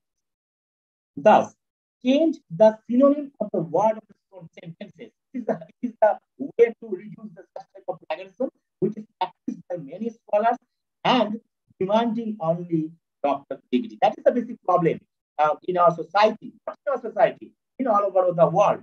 So, and again, translate the portion of the regional language article from a lot of uh, uh, the journals or the magazines which are not available in our website. How you can detect the plagiarism? The material which is available in our in our uh, website that would uh, could be the part of your plagiarism process. But there are a lot of uh, writings are present in our local area which is published based on our regional languages. These all are not included in the our website. our Google uh, Google Devata. So how you can the scholar is getting information or copying information from that regional based uh, language based uh, articles or news uh, newspaper or magazines. So that is the that is uh, also a part of our problem. Not and the scholars are not followed the proper methodology. That is also the part of, the, of our maintaining uh, unethical practicing. So don't do not visit the field. Another type of problem. Most of the scholars they don't want to visit the uh, field. They just want to complete their work based on their secondary data, and uh, and, and they want to be an armchair geographer, right? They want to be an armchair geographer. And I think if you are if you want to do the research in geography, or then you must uh, uh, have to follow the field visit in educational sector. I have also uh, done my research, research in education. So I believe that the, the secondary data-based research is important, but that is important to find out to cover your research work. Here the field visit is important. 130 crore people are present in our in our uh, in our India, and 6.4 billion people uh, are present in our world, in our mother earth. So the human resource, the human induced areas are important. If lot of people are here, at least lot of lot of human resources are here, here, then you you have to use the human resource. And if you are not using that human resource, in that cases, that concept of is emerging in many places. So another thing I, I have mentioned, I have highlighted this uh, photo because to energize, energize your mind that don't prepare data from the home without visiting the field physically. It is very much important to, to product the first-hand research part. First-hand research is very much important. Uh, if you are uh, following the field-based research work, that would be more good for your career. Personally, during the time of my PhD uh, in geography, I had covered 6,631 kilometers in West Bengal with the help of my uh. And I, I, have used my own JRF and SRF uh, fellowship.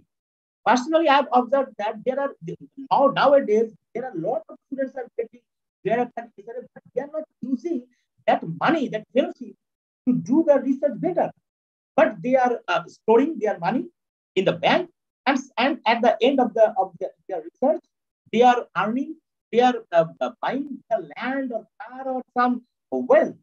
Whether government uh, is giving such type of money to earn your to increase your wealth rather to increase your research work as a part of, of, the resource of the nation. Government is giving a number of research uh, scholarship and fellowship support the research but research researchers are not using that money in research properly, buying land or buying property, right? I have a lot of examples I can I can give you, but right now I will not provide the mention the name of scholars, but that is the basic problem.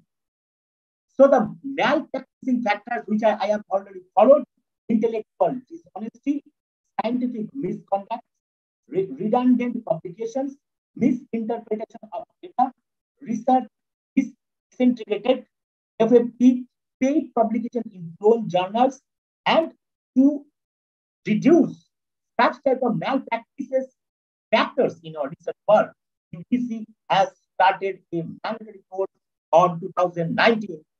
That is the research ethics. The course, the name of the course is research ethics for all the PhD researchers and which will be conducted for 30 hours in connection of two credit system. The paid journal list, which is also followed uh, by all of you, I think, which is uh, presenting in uh, UGC uh, website to mention the clone name of the clone journals. And what is good research? The good research follows the professionalism of researchers, data protection, the concept of being researchers, well-being of the art, doing research for the society, nations, the research for nation, following the ethical path to complete the research.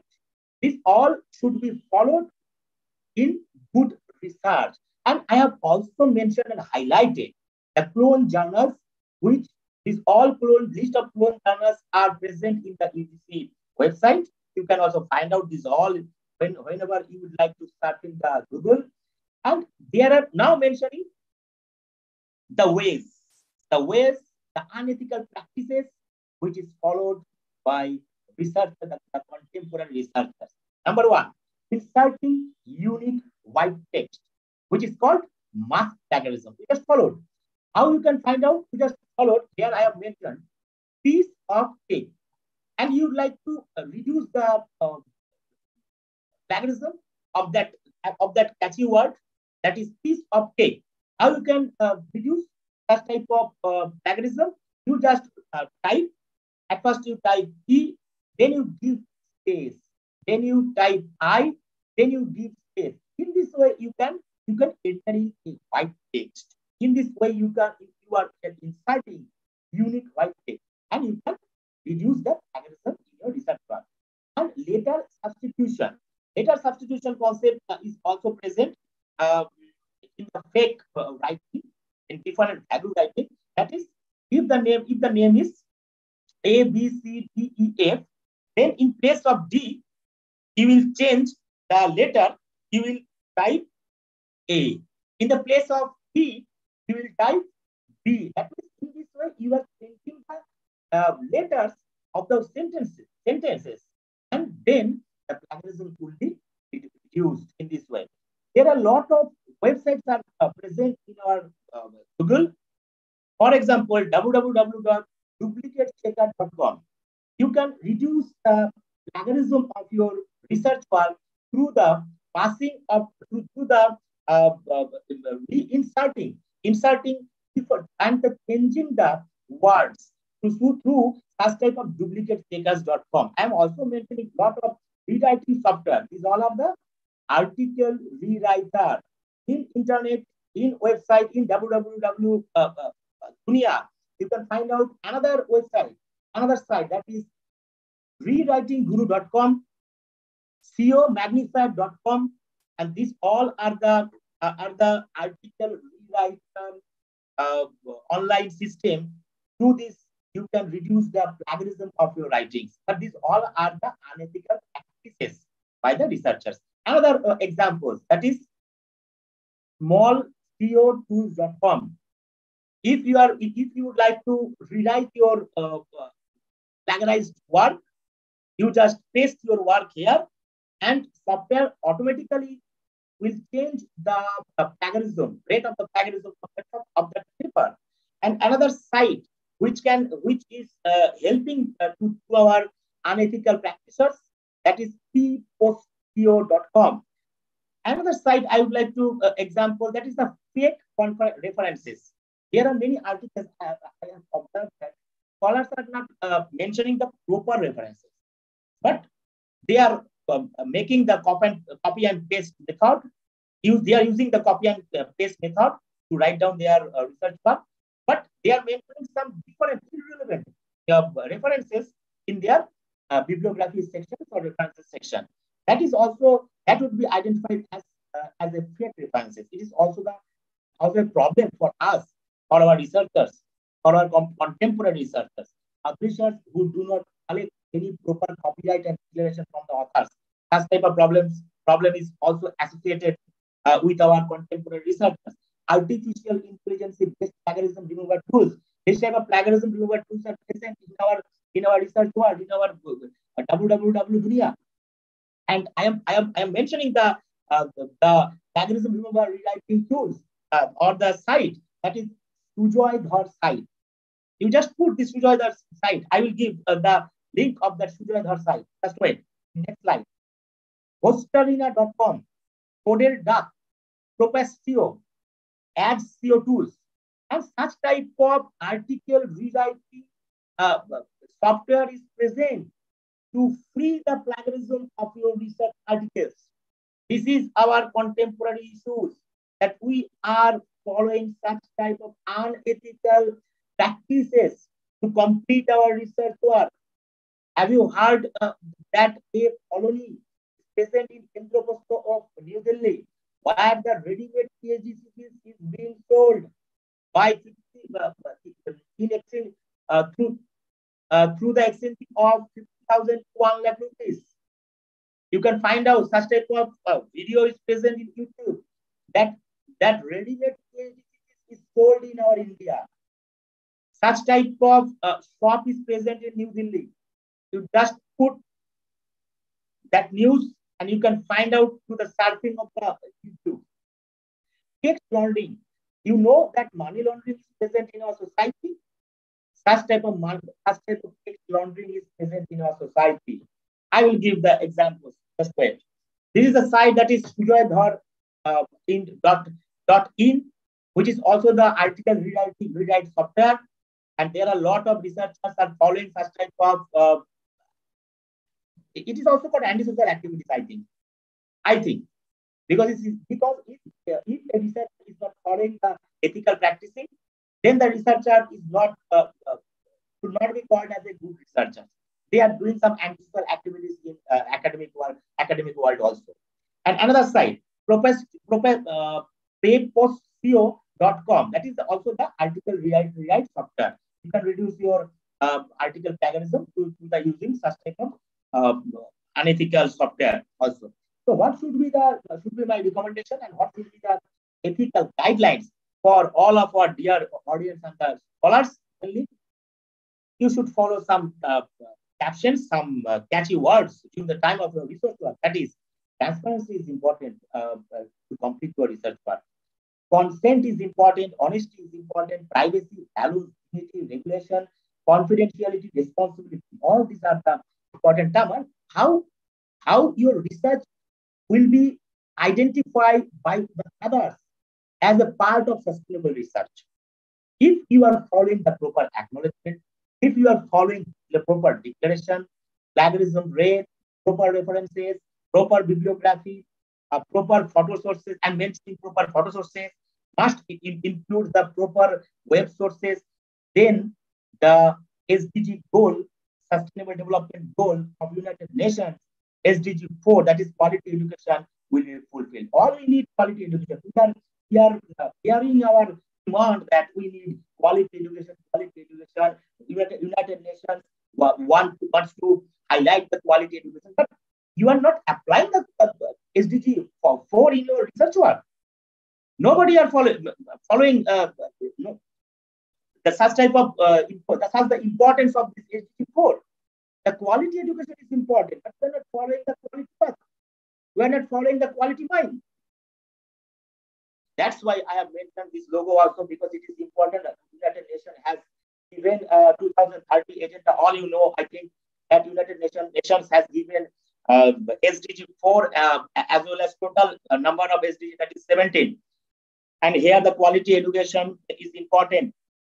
If you are not following the uh, sustainable research, if you are not following the uh, plagiarism research then how we can success the goal of SDG 4 of United Nations. And but uh, one university has already started of practicing research and competition ethics. I think uh, the, the, contemporary researchers all they need to uh, pass through the examination of, of one paper that is research, research and competition ethics. And in 2011, this course was already started in uh, Yenepoya University of Bangalore, uh, India. That is MSc in Research Ethics. Uh, that is the good news for us. And uh, these all are, are, my recommendations that should be followed by every researcher. That is algorithm test is important. Declaration page is important in your research work. Acknowledgement page is important. Referencing is important. Peer review, blind review, ethics of publishers, authorship, royalty, intellectual property rights, copyright method, best practices, open access in research publications, open access publication, journal finder, Sherpa or Romeo, such type of online uh, resource, open access journal site, ethical software, database and research metrics, indexing, proper indexing, citation, impact factors, metrics, all are the uh, sustainable uh, points to success your best research practice. And 2020 top related checker software. I would like to mention some examples. That is Pro Writing 8, Grammarly, Quetext, White Smoke, Copyscape, Paper, Paper Rater. these are the uh, these uh, six uh, um, uh, software plagiarism checking checker software of 2015 that I have mentioned. But, but apart from that, there are a lot of uh, plagiarism checker software are present, uh, but which is which is followed by the UGC. That is the basic part. What should be followed? What what, what software is important to us? Which should be legal and ethical? This six mentioned six plagiarism checker software are are, are also a ethical practicing for us. But uh, this Swedish uh, software that is Urkund, UGC has recommended uh, this Urkund software since 2019. And uh, what is the, which one is better for us, whether Urkund or Turnitin, uh, Turnitin, Turnitin is regularly used for courses both for undergraduate and graduate. This is legal, legal, legal uh, software, uh, plagiarism uh, software. That is the targeting but this, is, this should be followed by the uh, UG and PG level um, uh, students.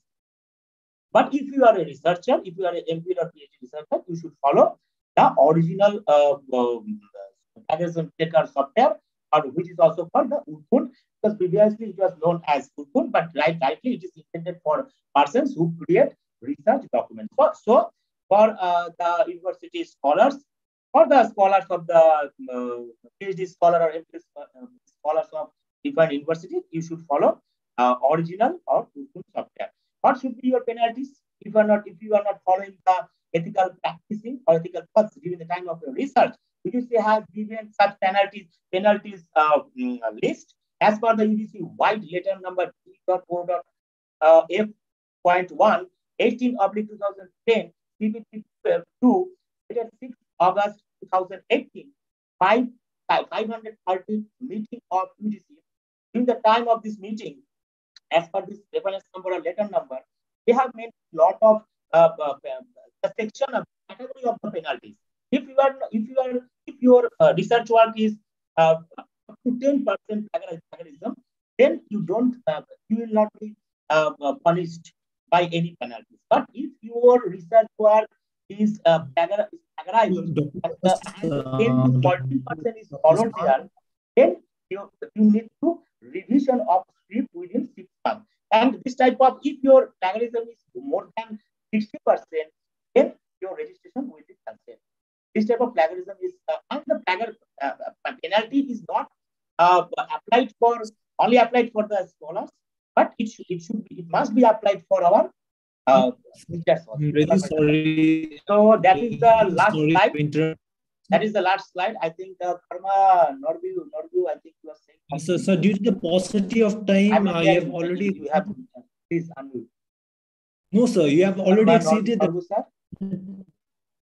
sir, you have oh, already exceeded the time limit. And would you like to say something, like, sir? Uh, can you please? Con- Sorry. Okay, that is the suggestion. That is the that is the basic suggestions uh, I would like to share here. That is, stop any type of cut-paste method, incorporate detailed acknowledgement, put proper declaration, get plagiarism before publishing the research and must do it through proper institutions and universities. Try to reduce any type of biasness during collection of field data.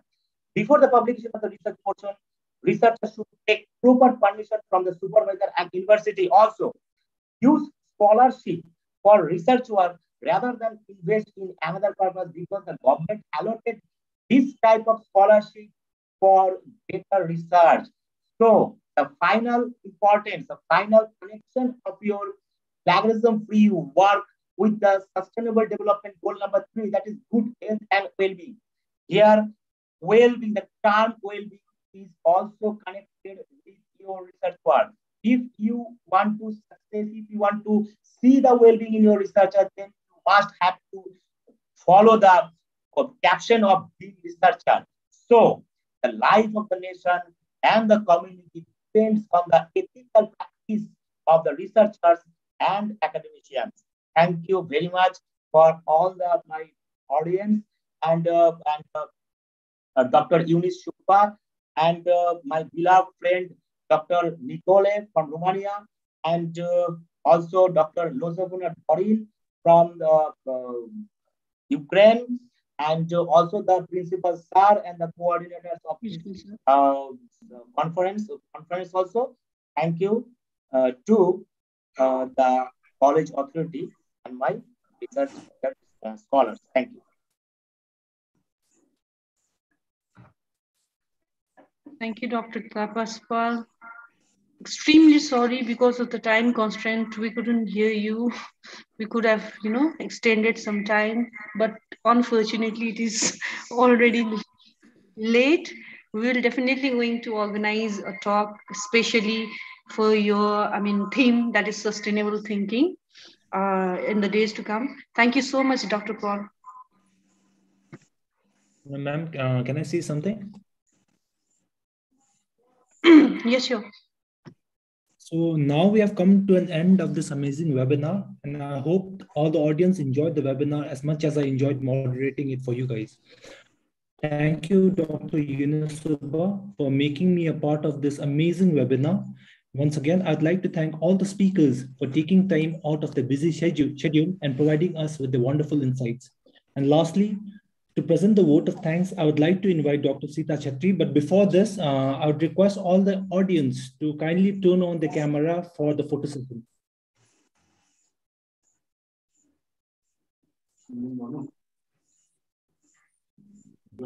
Hmm. So I'd request all the audience to kindly turn on the camera for a photo session. How are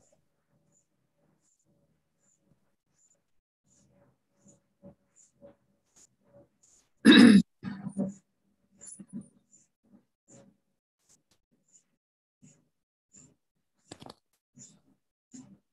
likewise, yes, uh, likewise, the audience also requested to How are you, fill the Dr. Nicole, how are you, please? Dear Nicole and Dorin.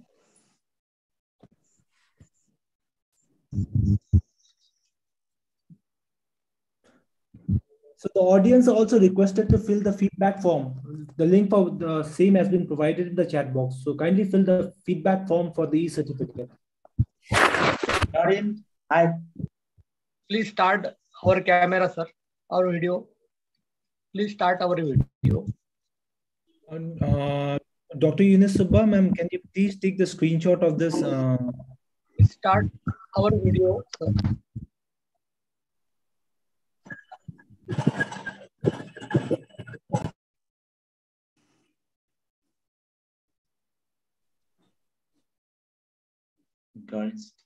Request to organize committee. Please start our video. okay, so the ma'am, the doctor, uh, Dr. Yunus Subba, can you please, uh, ma'am, check the problem? What's going on, ma'am? And they are saying they are not able to uh, turn on the camera.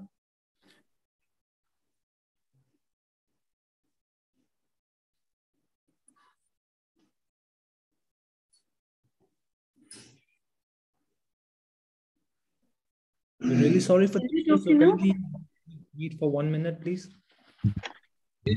Yeah, it's done. Start camera. Yes, ma'am. So, ma'am, you can take the screenshot of this. Uh,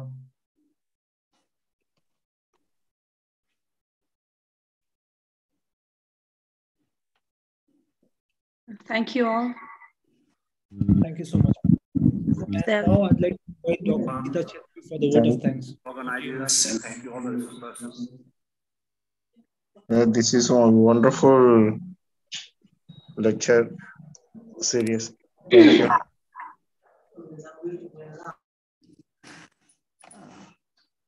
Thank you is such a prayer that cannot be seen or touched.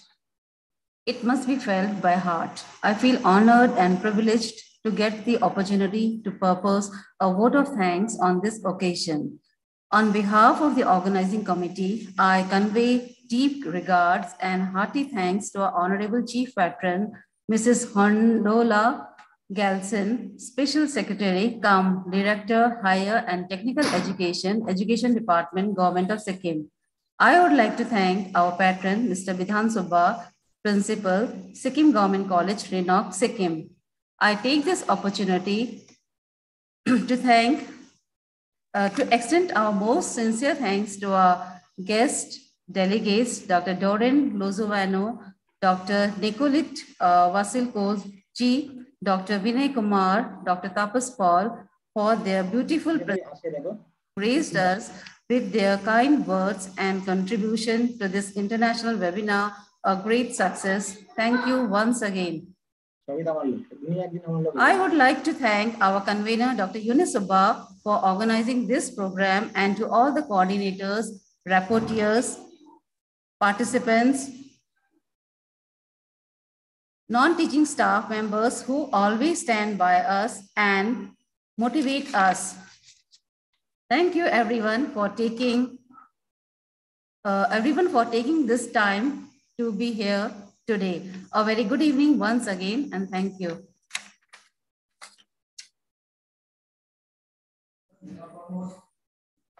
Ajur.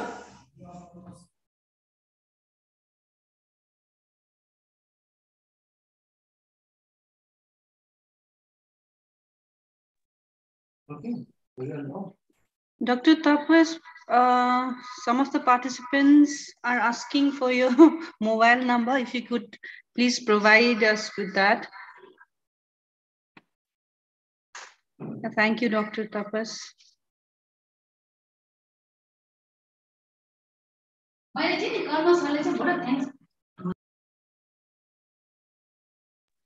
Sita ma'am, on mute.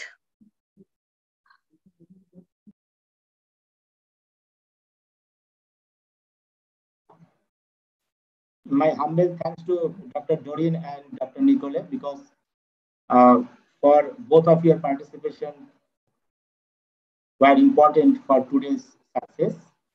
We are very much happy and I am also waiting both of both for you to provide my accommodation, hospitality, and to uh, share the Indian cuisine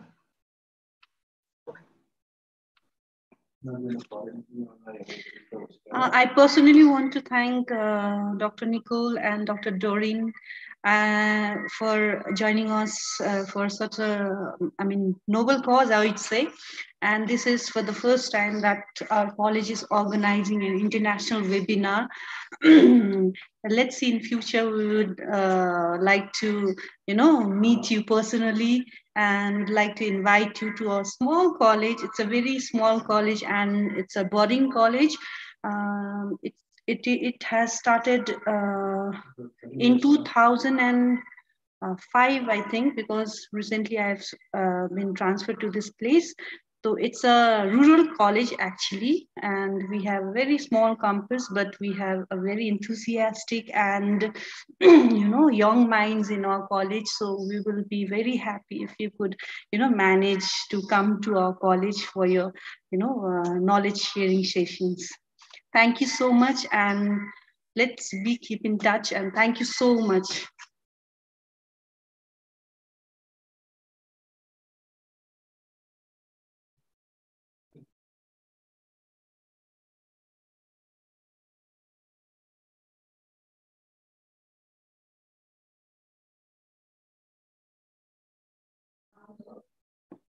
Thank you.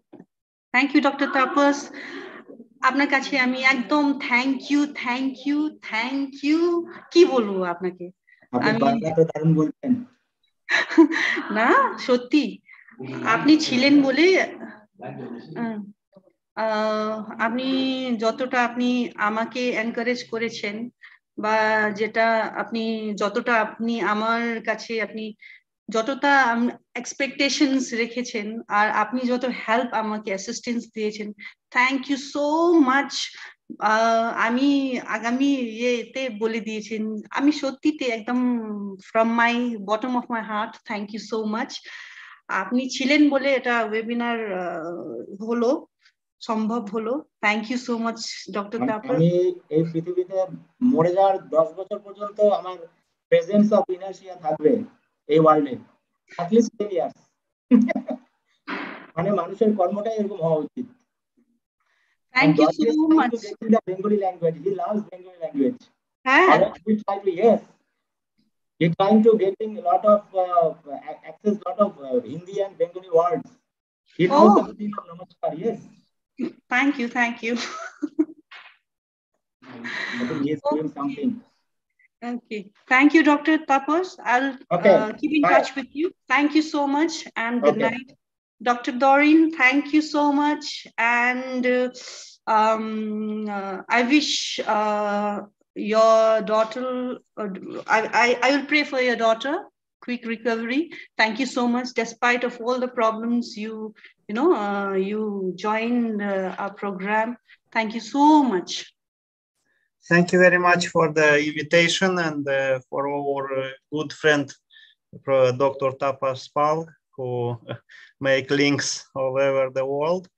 And uh, yeah, hopefully we can uh, in the future also find opportunity to, to do some uh, seminars, uh, not only online, but also offline yeah. and uh, meet in, in Sikkim, in Moldova, in any places to, to uh, discuss different interesting research subjects. And success to all your activity and greetings to all, all the colleagues from Sikkim and all, all India. I hope uh, we will continue with different topics and cooperation. Also, you have my invitation for publications in, uh, in our countries. So uh, everything is possible, even the distance, it's a uh, little bit uh, separated us, but it's not a problem if the wish it's a real one. Yeah, take care. All the best to everybody. You too. Thank you. And thank, thank you, you, all the reporters, uh, the host, Karma sir. Thank you so much uh, for your commitment towards uh, the work. And it's really appreciated. Uh, thank you, all the participants. Thank you, reporters. Thank you, all the faculties. Thank you. Good night and um, take care. Bye bye.